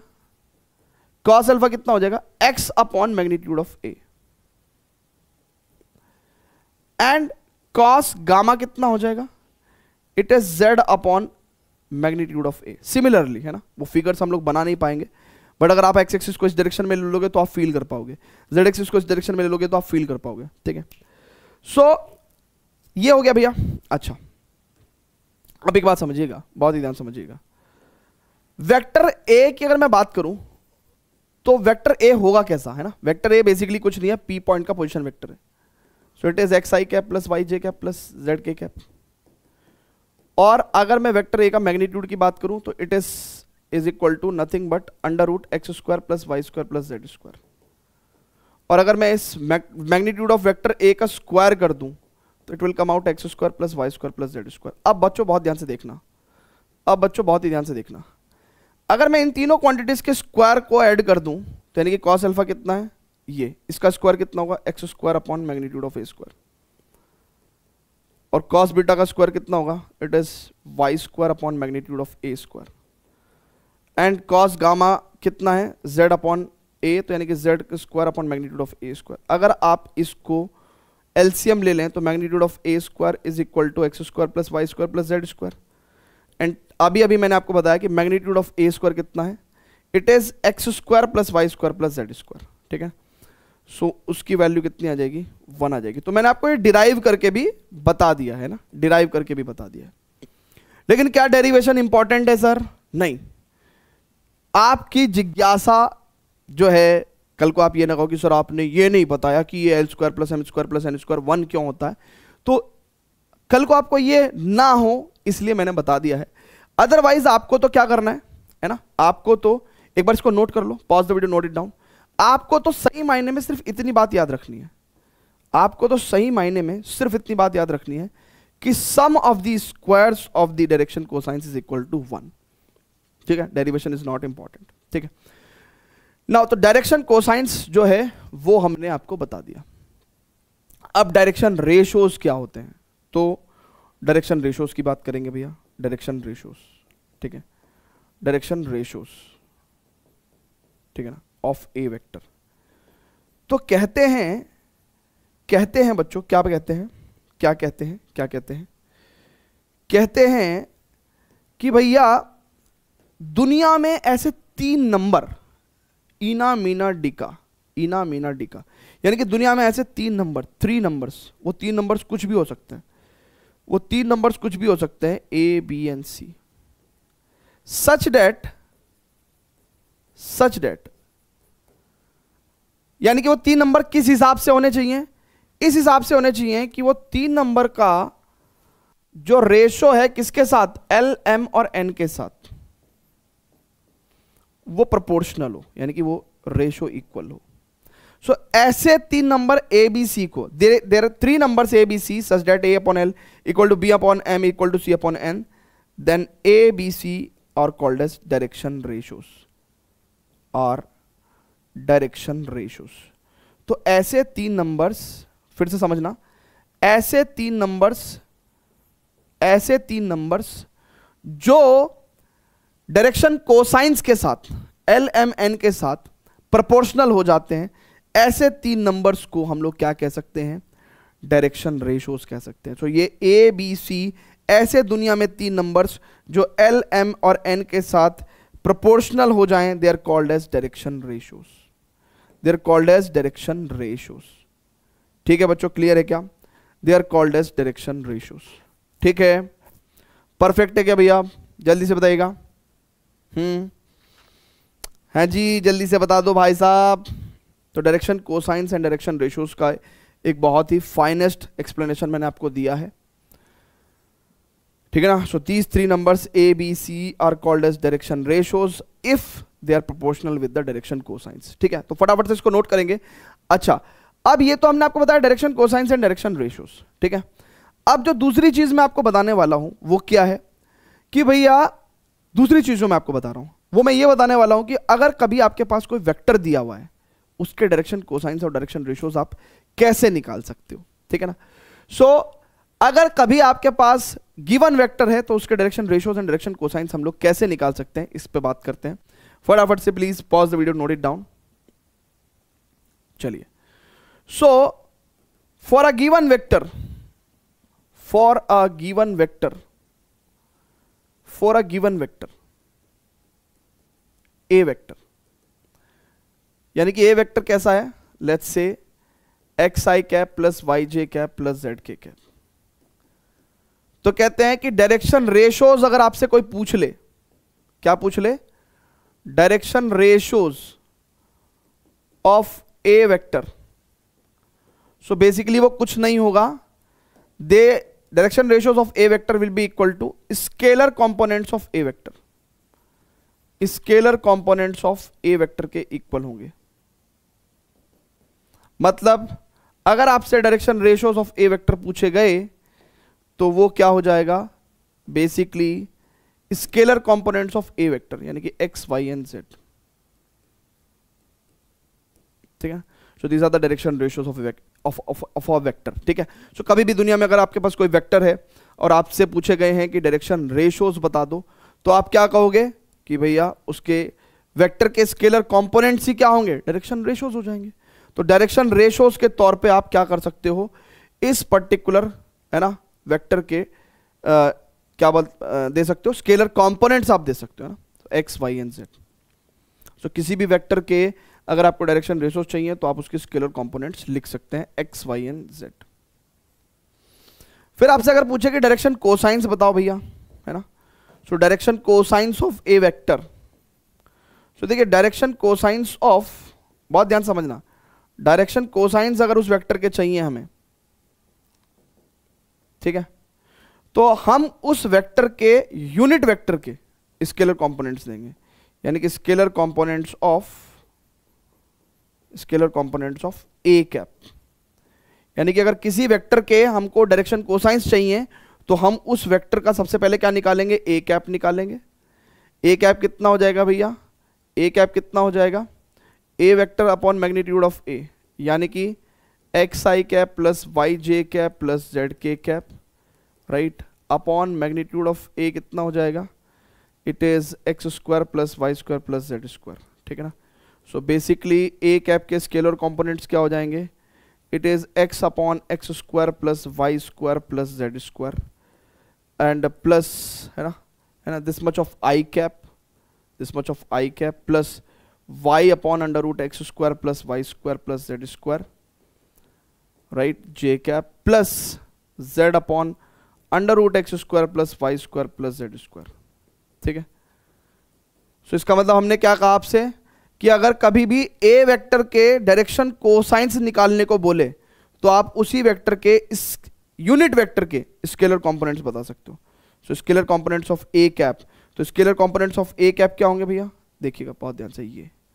It is x upon under root x square plus y square plus z square ठीक है ना? Y upon under root x square plus y square plus z square and z upon under root है ना? इस quantity को ऊपर लेके चलते हैं, ठीक है? यह राइट है okay z upon under root x square plus y square plus z square ठीक है भैया क्लियर है क्या? परफेक्ट है भैया, जिस, देखिए जरा सा for a given vector a vector for a given vector a vector direction ratios of a vector क्या होंगे? उसके वेक्टर के स्केलर कंपोनेंट्स और डायरेक्शन कोसाइंस कैसे होंगे? उसी वेक्टर के यूनिट वेक्टर के स्केलर कंपोनेंट्स ठीक है ना? So this is how you can write the direction ratios and the direction cosines of a vector ठीक है? चलिए तो फटाफट से बच्चों, है ना? ये तो हमने यहाँ पे यूनिट वेक्टर निकाल के दिखाया आपको। ये तो हमने आपको एक यूनिट वेक्टर निकाल के दिखाया आपको, ठीक है? ओके अब बच्चों बहुत ही ध्यान समझेंगे।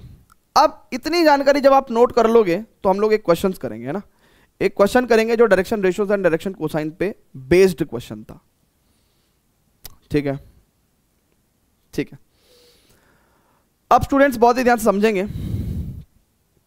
बहुत ही ध्यान से समझेंगे। इसको नोट कर लिया आपने? चलिए। तो वो क्वेश्चन जो था, हमने छोड़ा था एग्ज़ाम्पल नाइन तो उसने कहा उसने कहा भैया कि ए वेक्टर हमारे पास क्या है?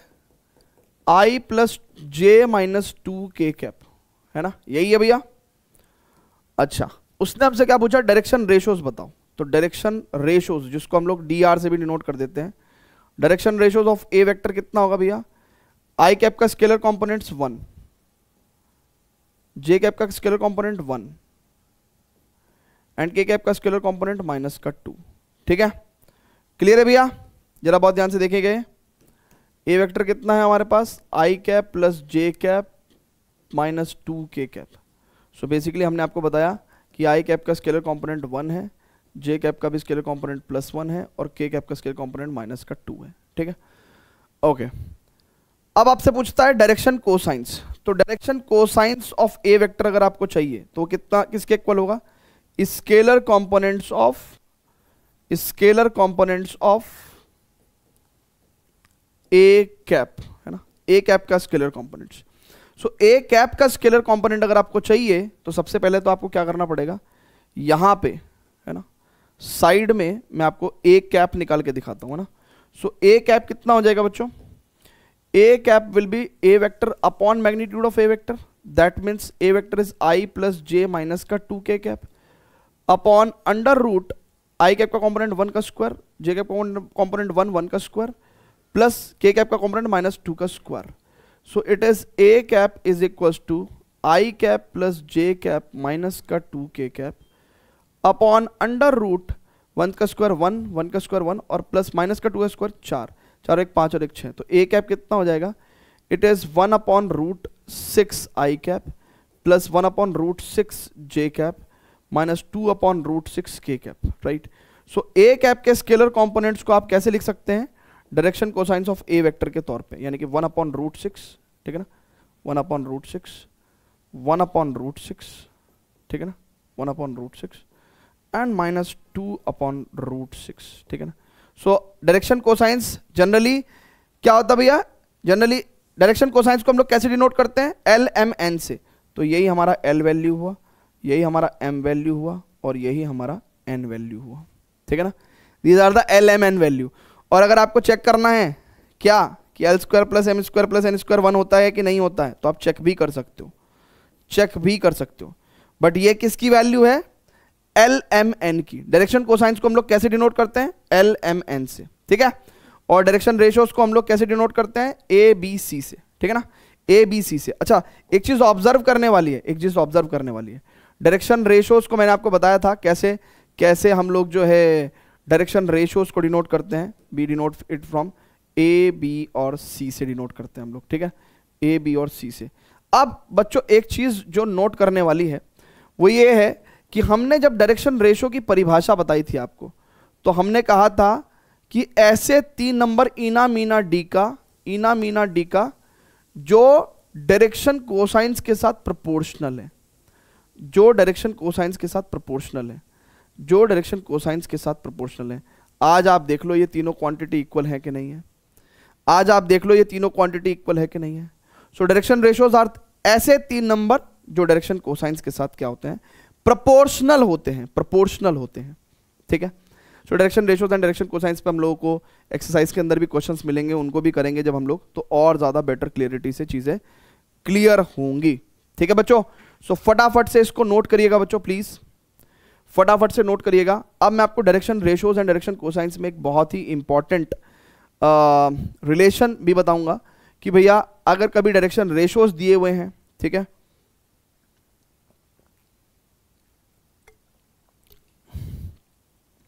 अगर आपको डायरेक्शन रेशियोज दिए हुए हैं तो आप डायरेक्शन कोसाइंस कैसे निकाल सकते हो? और अगर आपको डायरेक्शन कोसाइंस दिए हुए हैं तो आप डायरेक्शन रेशियोज कैसे निकाल सकते हैं? सो so, एक बहुत ही महत्वपूर्ण रिलेशन मैं आपको बताऊँगा। एंड देन उसके बाद हम लोग सेक्शन फॉर्मूला पे चलेंगे. एंड देन सेक्शन फॉर्मूला पे जाके सेक्शन फॉर्मूला पढ़ेंगे हम लोग. ठीक है? सेक्शन फॉर्मूला पढ़ेंगे एंड सेक्शन फॉर्मूला के ऊपर क्वेश्चन करेंगे. ठीक है? सेक्शन फॉर्मूला के ऊपर क्वेश्चन करेंगे. एंड देन जाते जाते फिर हम लोग एक लास्ट क्वेश्चन करेंगे कोलिनियरिटी के ऊपर. ठीक है? कि भाई कोलिनियरिटी की क्या कंडीशन है? और डायरेक्शन रेशोज हमारी किस तरीके से मदद करते हैं? है ना? किस तरीके से मदद करते हैं? ठीक है? चलिए तो आइए, वापस चलते हैं हम लोग अपना direction ratios and direction cosines पे। ठीक है, यहाँ तक हमने आपको पढ़ा दिया था। अच्छा अब स्टूडेंट्स बहुत ही ध्यान से देखिएगा। कभी अगर आपको मान लो डायरेक्शन रेशियोज गिवन है, क्या गिवन है? डायरेक्शन रेशियोज गिवन है right a b and c और आपको क्या निकालने हैं? डायरेक्शन कोसाइंस निकालने डायरेक्शन कोसाइंस निकालने आपको। आपको दिया हुआ क्या है भैया? डायरेक्शन रेशियोज उसको शॉर्ट फॉर्म में कैसे लिखते हैं? लिखते हैं भैया डी आर के तौर पे ना डी आर डायरेक्शन रेशियो ठीक है? तो डायरेक्शन रेशियो को मैं कई बार डी आर लिखूँगा डायरेक्शन कोसाइन को मैं डी सी लिखूँगा तो आप समझ जाना। सो so, अच्छा बच्चों बहुत ध्यान से समझना कि डायरेक्शन रेशियोज अगर गिवन है और डायरेक्शन कोसाइन निकालने हैं तो सिंपल फॉर्मूला याद कर लो। इट इज़ एल यानी कि l equal to a upon इन तीनों के स्क्वायर्स का सम का अंडर रूट ठीक है? M equals to b upon इन तीनों के स्क्वायर्स का sum under root and n is equals to c upon under root a square plus b square plus c square ठीक है ना? सो so, ऐसे करके अपन डायरेक्शन कोसाइन निकालते हैं। ऐसे करके क्या निकालते हैं भैया अपन? डायरेक्शन कोसाइन निकालते हैं। ठीक है? क्लियर है भाई? जल्दी से बोल दो। परफेक्ट है क्या? वेरी गुड बच्चों। अब बच्चों बहुत ही ध्यान से समझिएगा। ठीक है? अब बच्चों चो, बहुत ध्यान ध्यान ध्यान से समझिएगा। अब अगर हमारे पास डायरेक्शन अच्छा देखिए, ये आया कैसे? इसका दूसरा तरीका क्या है? अगर कोई मेरे से पूछेगा, सर शॉर्ट फॉर्म बताइए थोड़ा सा। ये याद ना करना पड़े। तो देखो, कुछ नहीं करना फिर। डायरेक्शन रेशो दिए हुए हैं, यानी कि स्केलर कंपोनेंट दिए हुए हैं वेक्टर के। आपको वेक्टर के स्केलर कंपोनेंट दिए हुए हैं let's say vector are vector है। अब इसका मतलब आप आर कैप निकाल लो it is r vector upon magnitude of magnitude of r vector ठीक है ना? यानी कि a i cap plus b j cap plus c k cap ठीक है upon under root a square plus b square plus c square यानी कि are cap के स्केलर कंपोनेंट्स क्या हो जाएँगे? आर कैप ऐसा हो जाएगा। ठीक है? ठीक है भैया? ऐसे ही हो जाएगा? और इसी के ही अगर आपको स्केलर कंपोनेंट्स देखिए यूनिट वेक्टर के स्केलर कंपोनेंट्स ही क्या होते हैं? डायरेक्शन कोसाइंस होते हैं। यूनिट वेक्टर के स्केलर कंपोनेंट क्या होते हैं? डायरेक्शन कोसाइन होते हैं। तो यानी कि यही आपका एल हो गया एल आई कैप। यही आपका एम जे कैप यही आपका एन के कैप ठीक है ना? सो यूनिट वेक्टर के यूनिट वेक्टर के है ना? ये बेसिकली आर कैप लिख रहा हूँ मैं ना। सो आर कैप ज़िंदगी में ध्यान रखिएगा यूनिट वेक्टर के स्केलर कंपोनेंट्स क्या होते हैं? डायरेक्शन कोसाइंस होते हैं एल एम एन होते हैं। तो यही वैल्यू एल की होगी, यही वैल्यू एम की होगी, और यही वैल्यू एन की हो गई इसलिए हमने यहाँ पे एल एम एन ऐसे लिख दिया है। सो so, ये एक लॉजिकल प्रोसेस है जहाँ से आप आ सकते हो। बट मैं कह रहा हूँ कि अगर इतना लंबा क्यों जाना यार? डायरेक्शन रेशो दे रखे हैं तो सीधा डायरेक्शन कोसाइंस के लिए सीधा फॉर्मूला याद कर लो ना। क्या प्रॉब्लम है? है ना? फॉर्मूला याद कर लो। चलिए तो अब अगर हम लोग डायरेक्शन कोसाइंस हमको गिवन हो है ना? ठीक है ये पूरा होल प्रोसेस तो आपको पता ही है कि भैया डायरेक्शन रेशोज दिए हुए थे वहाँ से वेक्टर बना लिया वेक्टर से यूनिट वेक्टर बना लिया और यूनिट वेक्टर से हमने उसके स्केलर कंपोनेंट्स उठा लिया और यहाँ पे डायरेक्शन कोसाइंस बना दिया चलिए। सो so, अब अगर हमको क्या दिया हुआ है? अगर अब हमको क्या दिया हुआ है? डायरेक्शन कोसाइंस गिवन है ना? मान लो हमें क्या गिवन है बच्चों? डायरेक्शन कोसाइंस गिवन है। डायरेक्शन कोसाइंस गिवन है। डीसी इज़ गिवन है। एल एम और एन और हमको क्या निकालना है? डायरेक्शन रेशोज निकालने हैं। टू फाइंड क्या निकालना है हमें? डायरेक्शन रेशोज निकालने सो देखिए डायरेक्शन रेशोज दुनिया में ऐसे तीन नंबर होते हैं, जो डायरेक्शन कोसाइंस के साथ क्या होंगे? प्रोपोर्शनल होंगे। बेसिकली हमें ए बी सी निकालना है ना भैया? डायरेक्शन रेशोज निकालने हैं हमें, है ना? और ये हमें गिवन है, ये हमें गिवन है। अब देखिए, मान लो डायरेक्शन रेशोज दुनिया में ऐसे तीन नंबर होते हैं, जो डायरेक्शन कोसाइंस के साथ कैसे होते हैं? प्रोपोर्शनल होते हैं। तो मान लो this quantity is equal to this quantity is equal to this quantity and let's say this is equal to k है ना? भाई, ये क्वांटिटी किसी चीज़ के इक्वल तो होगी ना? किसी चीज़ के इक्वल तो होंगे ना भैया? है ना? And where k is let's say non zero scalar k is a non zero scalar ठीक है? अब स्टूडेंट्स बहुत ही ध्यान से देखिएगा। जब मैं इसको और इसको कंपेयर करूँगा तो A is equal to K L आएगा। बी इज़ इक्व टू इसको और इसको कंपेयर करूँगा तो यानी कि B equal to k m आएगा। And c is equal to k n आएगा। अब ये k क्या है? के दुनिया का कोई भी नॉन ज़ीरो रियल नंबर हो सकता है। अब मेरी बात सुनो। आप की आपका मन करेगा के की वैल्यू दो ले लोगे। आपका मन करेगा के की वैल्यू तीन ले लोगे। आपका मन करेगा के की वैल्यू चार ले लोगे। आपका मन करेगा के की वैल्यू पाँच ले लोगे। तो यानी कि इसका मतलब तो जब जब आप के का वैल्यू मिल, बदलोगे, आपको डिफरेंट डिफरेंट डायरेक्शन रेशोज मिलेंगे। तो इसका मतलब एक वेक्टर के कई सारे डायरेक्शन रेशोज हो सकते हैं। यानी कि एक वेक्टर के कितने डायरेक्शन रेशोज हो सकते हैं? इनफाइनाइट। सो यानी कि यहाँ पे हम इस बात को लिखेंगे भी a vector have infinite direction ratios a vector have infinite direction ratios एक वेक्टर के दुनिया भर के डायरेक्शन रेशोस हो सकते हैं। आप के की वैल्यू बदलते रहो, है ना? आप के की वैल्यू बदलते रहो। आपको इन्फाइनाइट डायरेक्शन रेशियोज मिलते रहेंगे। ठीक है? अच्छा। नाउ एक वेक्टर के कितने डायरेक्शन कोसाइंस हो सकते हैं? देखिए डायरेक्शन कोसाइंस एक ही रहेंगे, है ना? एल एम और N so vector can have one set of direction cosines a vector have one set of a vector have one set L M N right of direction cosines उसके vector के क्या रहते हैं? एक ही set रहता है L M n ठीक है भैया? क्लियर है भैया? जल्दी से बोल दीजिए। ठीक है। अच्छा यहाँ पे एक चीज़ और थोड़ी सी गौर करने की है है ना? तो डायरेक्शन रेशियोज तो आप निकाल दोगे के की वैल्यू कुछ भी रख दोगे। अच्छा अगर आप के की वैल्यू वन ले लेते हो तो दुनिया में एक केस ऐसा भी होता है, जब डायरेक्शन कोसाइंस जब जब डायरेक्शन रेशियोज डायरेक्शन कोसाइंस के इक्वल हो जाते हैं। हमेशा नहीं होते। हमेशा नहीं होते। अगर के की वैल्यू वन ले लोगे तो डायरेक्शन रेशोज और डायरेक्शन कोसाइंस इक्वल हो जाएँगे। क्योंकि सास भी कभी बहू थी तो क्योंकि डायरेक्शन कोसाइंस कभी तो डायरेक्शन रेशो थे। है ना? सो so, सिर्फ़ एक केस में है ना? दुनिया में सिर्फ़ एक केस ऐसा हो सकता है। सो so, अगर आपसे क्वेश्चन पूछा जाए अगर आपसे क्वेश्चन पूछा जाए कि क्या डायरेक्शन कोसाइंस डायरेक्शन रेशोज हो सकते हैं? हाँ एक केस होता है ऐसा। क्या डायरेक्शन रेशोज डायरेक्शन कोसाइंस हो सकते हैं? हाँ एक केस ऐसा हो सकता है ठीक है? सो so, ऐसा दुनिया में एक केस ऐसा होता है ठीक है? सो so, अगर डायरेक्शन रेशोज दिए हुए हैं तो डायरेक्शन कोसाइंस कैसे निकालते हैं? डायरेक्शन कोसाइंस दिए हुए हैं तो डायरेक्शन रेशोज कैसे निकालते हैं? वो हमने आपको बता दिया। क्लियर है बच्चों? क्लियर है क्या? जल्दी से बताइएगा। परफेक्ट है क्या? Very very good okay students so अब नेक्स्ट क्या है भैया? नेक्स्ट क्या है? नेक्स्ट है भैया हमारे को, अब हमें सेक्शन फॉर्मूला पढ़ना है। तो देखिए, यहाँ पे हम लोग direction cosines and direction ratios कराए। ठीक है ना? एक एग्जांपल था, वो भी हमने करवा दिया है। एंड uh, आप कंसेप्चुअली इस चीज़ को समझें।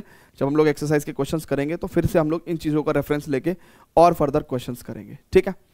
So let us just proceed to the example कौन से वाला एग्ज़ाम्पल भैया? हमने ग्यारहवा एग्ज़ाम्पल नहीं करा था। सो अब ग्यारहवें एग्ज़ाम्पल को सॉल्व करने के लिए हमको क्या सीखना पड़ेगा? सेक्शन फॉर्मूला सीखना पड़ेगा है ना? सो सेक्शन फॉर्मूला सबसे पहली बार आप लोगों ने दसवीं क्लास में पढ़ा होगा। फिर उसकी एक झलक आपको ग्यारहवीं क्लास में थ्री ज्योमेट्री में मिली होगी। और उसकी अब तीसरी झलक जो है, वो वेक्टर में हम यहाँ पे आपको कराने जा रहे हैं ना। That is called section formula ठीक है बच्चों? क्लियर है क्या? चलिए तो सेक्शन फॉर्मूला पढ़ते हैं। चलिए स्टूडेंट्स तो अब हम लोग सेक्शन फॉर्मूला पढ़ेंगे ना। सो सेक्शन फॉर्मूला के बेसिकली तीन वेरिएंट होते हैं, है ना? थोड़ा समझने की कोशिश करिएगा तीनों वेरिएंट्स को। ठीक है ना? आगे भी आपको काम आता है ये सो सेक्शन फॉर्मूला में बेसिकली सबसे पहले पढ़ते हैं हम लोग इंटरनल डिवाइड फॉर्मूला है ना? इंटरनल डिवाइड फॉर्मूला पढ़ते हैं। इसमें क्या कर रहा है? एक पॉइंट आर है वो डिवाइड कर रहा है पी क्यू लाइन को। R divides P Q in M ratio N internally so statement क्या है भैया? R divides P Q in M ratio N internally है ना? सो so, आर किसको डिवाइड कर रहा है? पी क्यू लाइन सेगमेंट को। तो लेट्स से पी पॉइंट है ये राइट right? ये क्यू पॉइंट है। और there is a some point R वो पी क्यू लाइन को एम रेशो एन में डिवाइड कर रहा है है ना? तो इसका मतलब समझ के चलिएगा कि अगर इस वाली बात का क्या मतलब है? इस वाली का मतलब मतलब है कि P R upon R Q का रेशो एम रेशो एन दिया हुआ है ना? इस वाली बात का मतलब ये है, ठीक है? अच्छा अब मान लीजिए आपको दे रखा है कि भैया पी वेक्टर का जो पोजीशन वेक्टर है वो ए वेक्टर है। क्यू पॉइंट का position vector let say B vector है। तो आपको अगर आर पॉइंट जिसने पी क्यू लाइन को एमरेशन में डिवाइड किया है तो आर पॉइंट का अगर आपको पोजीशन वेक्टर चाहिए तो आर वेक्टर बराबर एम बी वेक्टर बहुत ध्यान से देखिएगा M B vector plus N A vector upon M plus N so ऐसे करके अपन आर वेक्टर का आर पॉइंट का पोजीशन वेक्टर निकालते हैं। ठीक है ना? सो so, ऐसा कुछ अब आपको ध्यान आ गया होगा कि हाँ हाँ हाँ सर दसवीं क्लास में हमने कुछ ऐसा ही पढ़ा था सर जी है ना? So this is the section formula का इंटरनल डिवाइड केस नाउ अब हम लोग सेक्शन फॉर्मूला का एक्स मिड पॉइंट केस पढ़ेंगे ना? क्या पढ़ेंगे बच्चों? Mid point case so second case क्या है? मिड पॉइंट केस है ना? Mid point case so R divides P Q है ना? बहुत ही ध्यान समझिएगा। R divides P Q R divides P Q R divides P Q at mid R divides P Q at mid तो सबसे पहले अगर बहुत ध्यान से देखिएगा, मान के चलिए, ये पी क्यू लाइन है। तो आर इसके मिड पॉइंट पे है। आर इसके मिड पॉइंट पे है। यानी कि आर क्या है? एक मिड पॉइंट है। जब मिड पॉइंट होता है तो बेसिकली अगर आप बहुत ही ध्यान से देखेंगे तो ये जो और ये है है ना ये वन रेशो वन में डिवाइड हो जाएगा। किसमें डिवाइड हो जाएगा? वन रेशो वन में। सो so, अगर पी पॉइंट का position vector let say A vector है एन क्यू पॉइंट का position vector let say B vector है सो आर पॉइंट का position vector let say R vector है R point का position vector कितना है? It is R vector then r vector because of r is the midpoint है ना then we will write r vector equals to 1 into b vector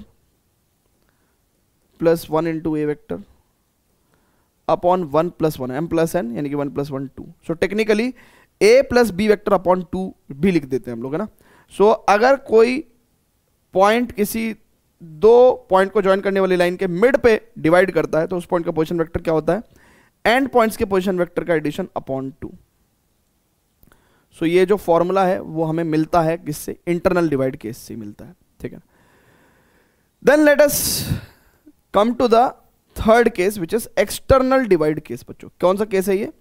This is your external divide case है ना? This is your external divide case right है बच्चों, जल्दी से बोल दो। एक्सटर्नल डिवाइड केस ठीक है? एक्सटर्नल डिवाइड केस हो गया भैया। अब बच्चों बहुत ही ध्यान समझिएगा। मान के चलिए अब ये एक्सटर्नल डिवाइड कैसा होता क्या है ना इसको जरा फील करेंगे। R divides P Q R divides P Q in M ratio N externally so external divide कोई भी चीज़ किसी को एक्सटर्नली कैसे डिवाइड कर सकती है? जरा इसके बारे में बात करेंगे। सो so, देखिए यहाँ पे भी जो बात हो रही है ना R divides P Q in M ratio one तो इसका मतलब यह है कि P R ratio R Q आपको एम अपॉन एन की वैल्यू दे रखी है ठीक है ना? एंड सही मायने में अगर हम लोग फिगर की बात करें let's say M is greater than N कुछ भी हो सकता है एम एन से बड़ा हो सकता है एम एन से छोटा हो सकता है कुछ भी हो सकता है। सो so, अगर आपको थोड़ा सा देखना है है ना? अगर आपको थोड़ा सा देखना है कि फिगर एग्जैक्टली exactly कैसे बनेगी तो लेट्स से ये पॉइंट पी है ये पॉइंट क्यू है ठीक है? नाउ अब कोई पॉइंट आर है जिसने पी क्यू को एक्सटर्नली डिवाइड किया एम रेशो एन में। सो so, एक्सटर्नली मतलब यहाँ पे मान लो अगर आर पॉइंट लेते हैं सो so ये पी आर यानी कि आर पॉइंट का जो लेंथ है वो from P point to the length from Q point इसके रेशो की बात चल रही है। ये एम है ये एन है। ठीक है ना? आर पी जो है एम है और आर क्यू जो है वो एन है। ठीक है ना? सो लेट्स से हमने इसको ज्वाइन भी कर दिया मान लो। ठीक है? सो अगर पी पॉइंट का position vector let's say A vector है क्यू पॉइंट का position vector let's say B vector है then in that case R point का पोजिशन वेक्टर आर वेक्टर कैसे निकाल पाएँगे? It will come out as M B vector minus N A vector है ना? तो ऐसे आपको थोड़ा फील करना है अपॉन एम माइनस एन तो ऐसे using section formula we can find out the position vector of point which externally dividing a particular line in M ratio N ठीक है? So this is the section formula के तीनों variants मैंने आपको करा दिए हैं। Now let us just proceed की भैया एक क्वेश्चन करते हैं ना? एक क्वेश्चन करते हैं। ठीक है? सो अब एक क्वेश्चन करेंगे हम लोग। आइए जरा क्वेश्चन करते हैं। Very good okay so note कर लिएगा please pause the video note it down चलिए। सो एग्ज़ाम्पल नंबर इलेवेंथ की बात करते हैं हम लोग। ठीक है? इलेवेंथ एग्ज़ाम्पल की बात करेंगे गाइस जल्दी से बोल दो। सो एग्ज़ाम्पल नंबर इलेवेंथ की अगर हम लोग बात करेंगे consider the two points P and Q with the position vector O P vector and O Q vector so दो पॉइंट्स हैं भैया पी और क्यू ठीक है? और पी पॉइंट का पोजिशन वेक्टर जो है, वो ओपी वेक्टर है, यानी कि दिस इज़ वेक्टर इज़ इस पी पॉइंट का पोजिशन वेक्टर है three A minus two B vector ठीक है? एंड इस क्यू पॉइंट का पोजिशन वेक्टर है A vector plus B vector oh my god ठीक है? Find the position vector of a point R है ना? अब देखिएगा बहुत ध्यान से दो केसेस है ना तो मैं पहला केस सॉल्व कर रहा हूँ। कह रहा find the position vector of point R which is dividing है ना? विच is dividing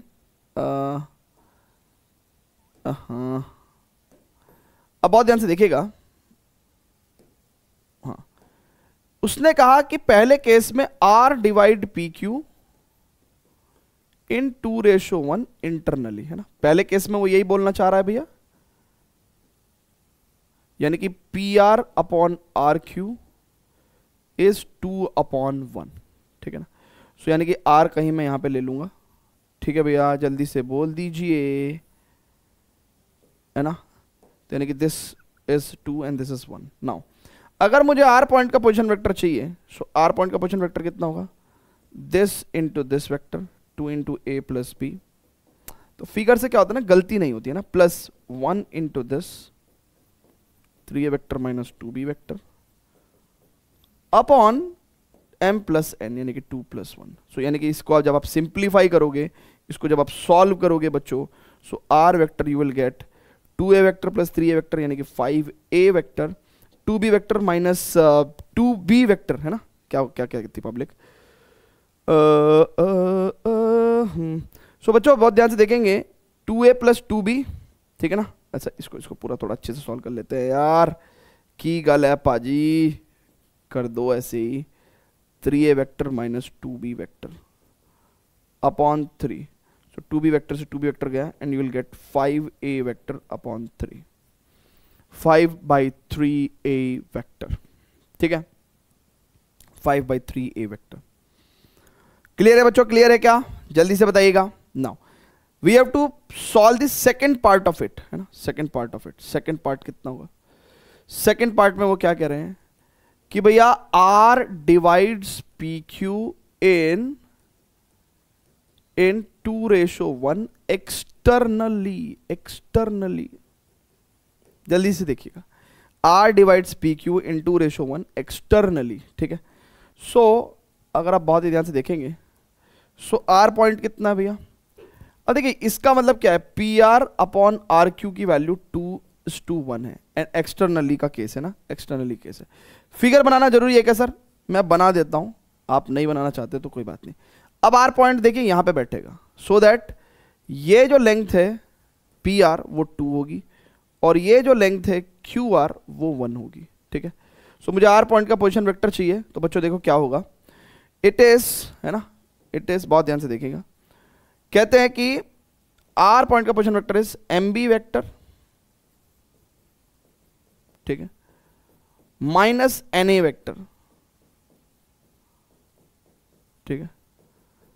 upon M minus N है ना? Two minus one so it will come out as r vector is equal to two a vector plus two b vector minus three a vector plus two b vector upon two minus one तो one so r vector will come out as out as 2a minus 3a minus का ए vector और दो B plus दो B यानी कि minus का plus का चार बी वेक्टर।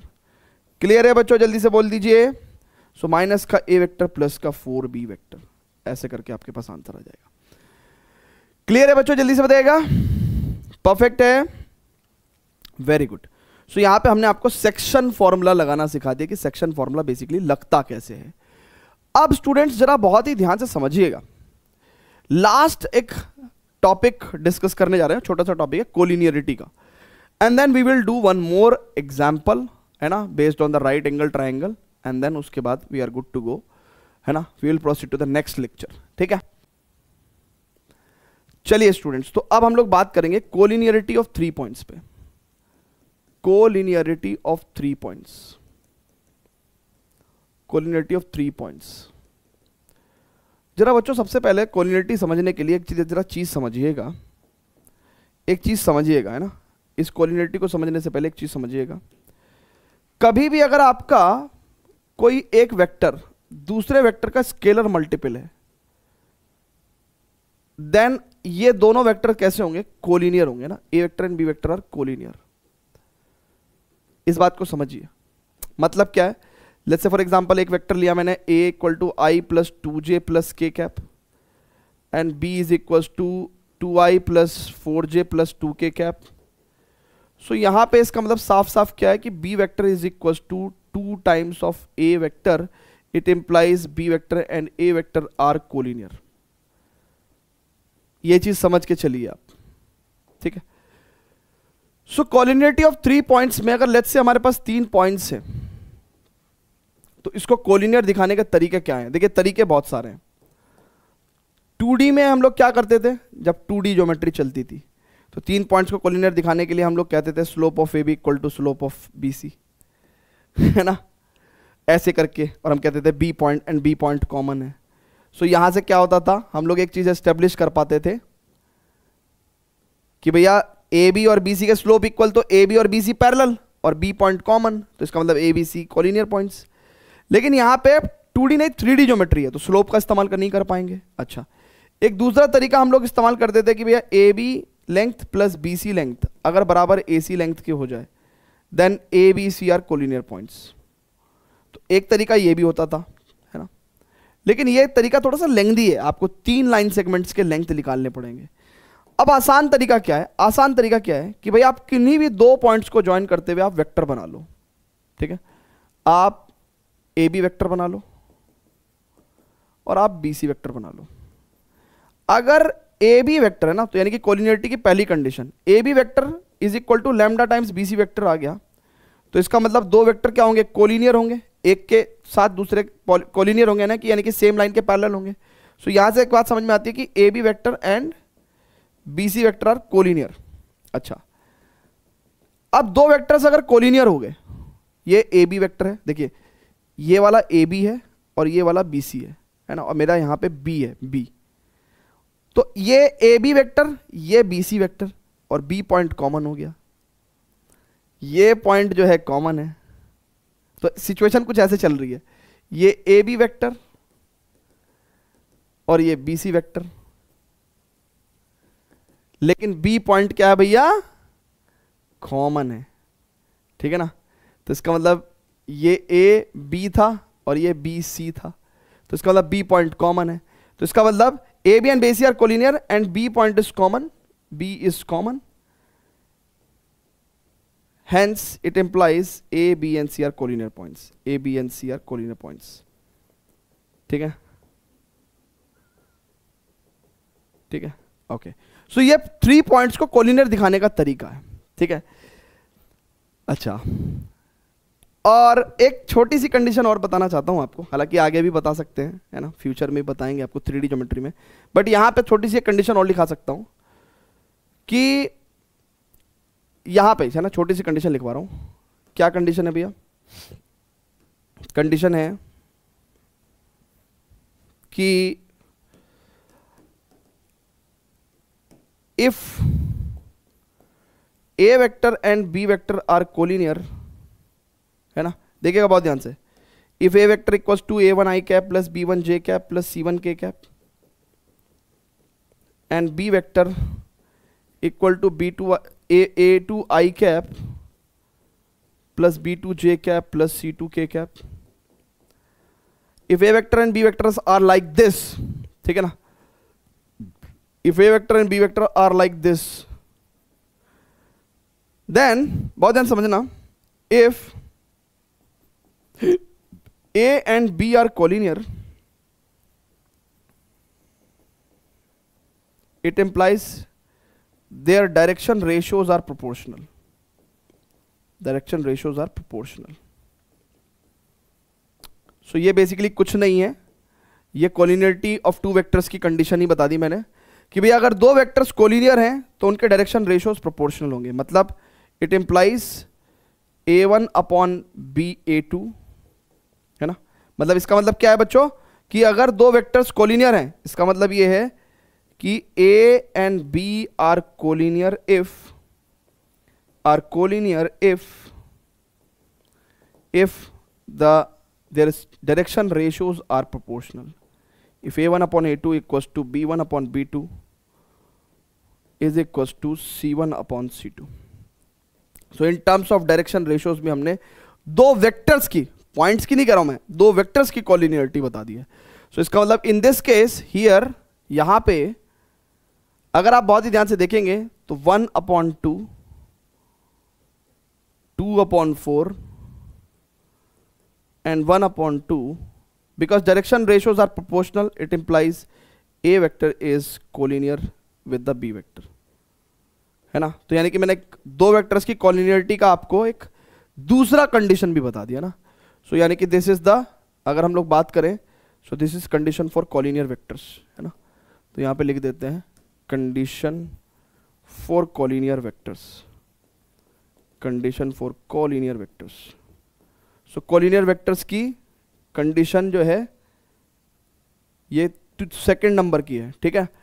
पहली नंबर की ये थी condition for collinear vectors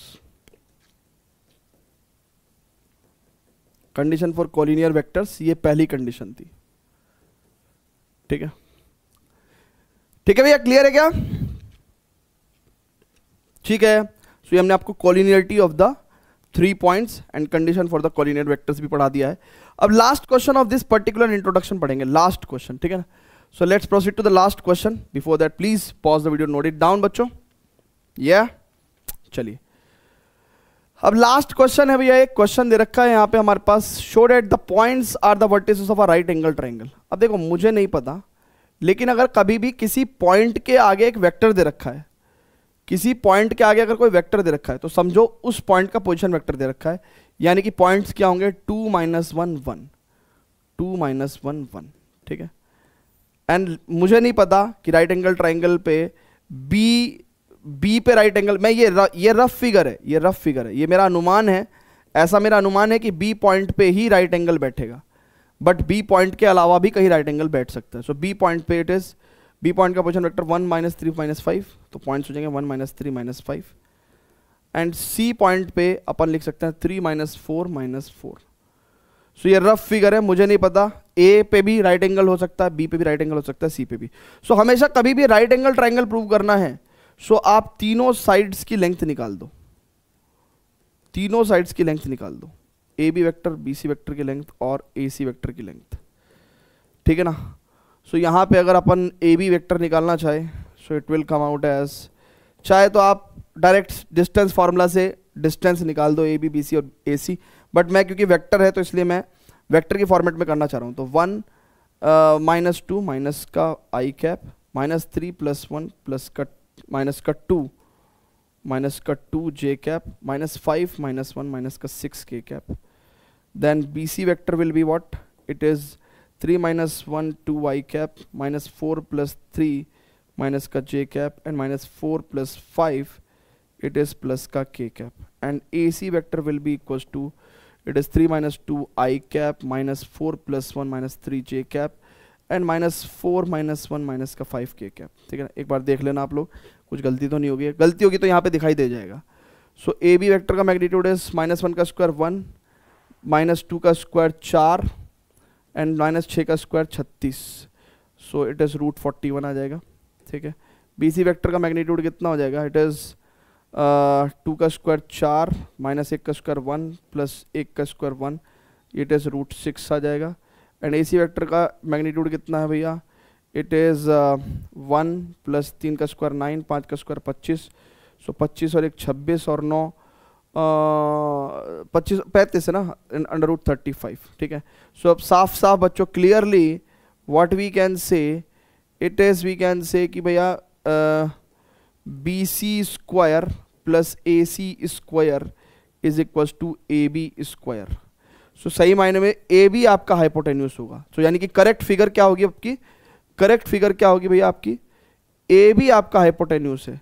so so, C पे राइट एंगल ट्राइंगल बैठेगा। ठीक है ना? तो करेक्ट फिगर कुछ ऐसे बनेगी। So yes it is the these are the vertices of the right angle triangle ठीक है? चलिए तो we have tried very well to understand this exercise introduction I hope चीज़ें सभी को क्लियर होंगी बेहतरीन तरीके से। इन केस कुछ भी अगर आपको कमी महसूस हुई हो तो प्लीज़ लेक्चर में कमेंट करिएगा। एंड इसके नोट्स आप हमारे ऐप के फ्री स्टडी मटेरियल सेक्शन में जाके डाउनलोड कर सकते हैं। Thank you very much love you all students bye bye bye bye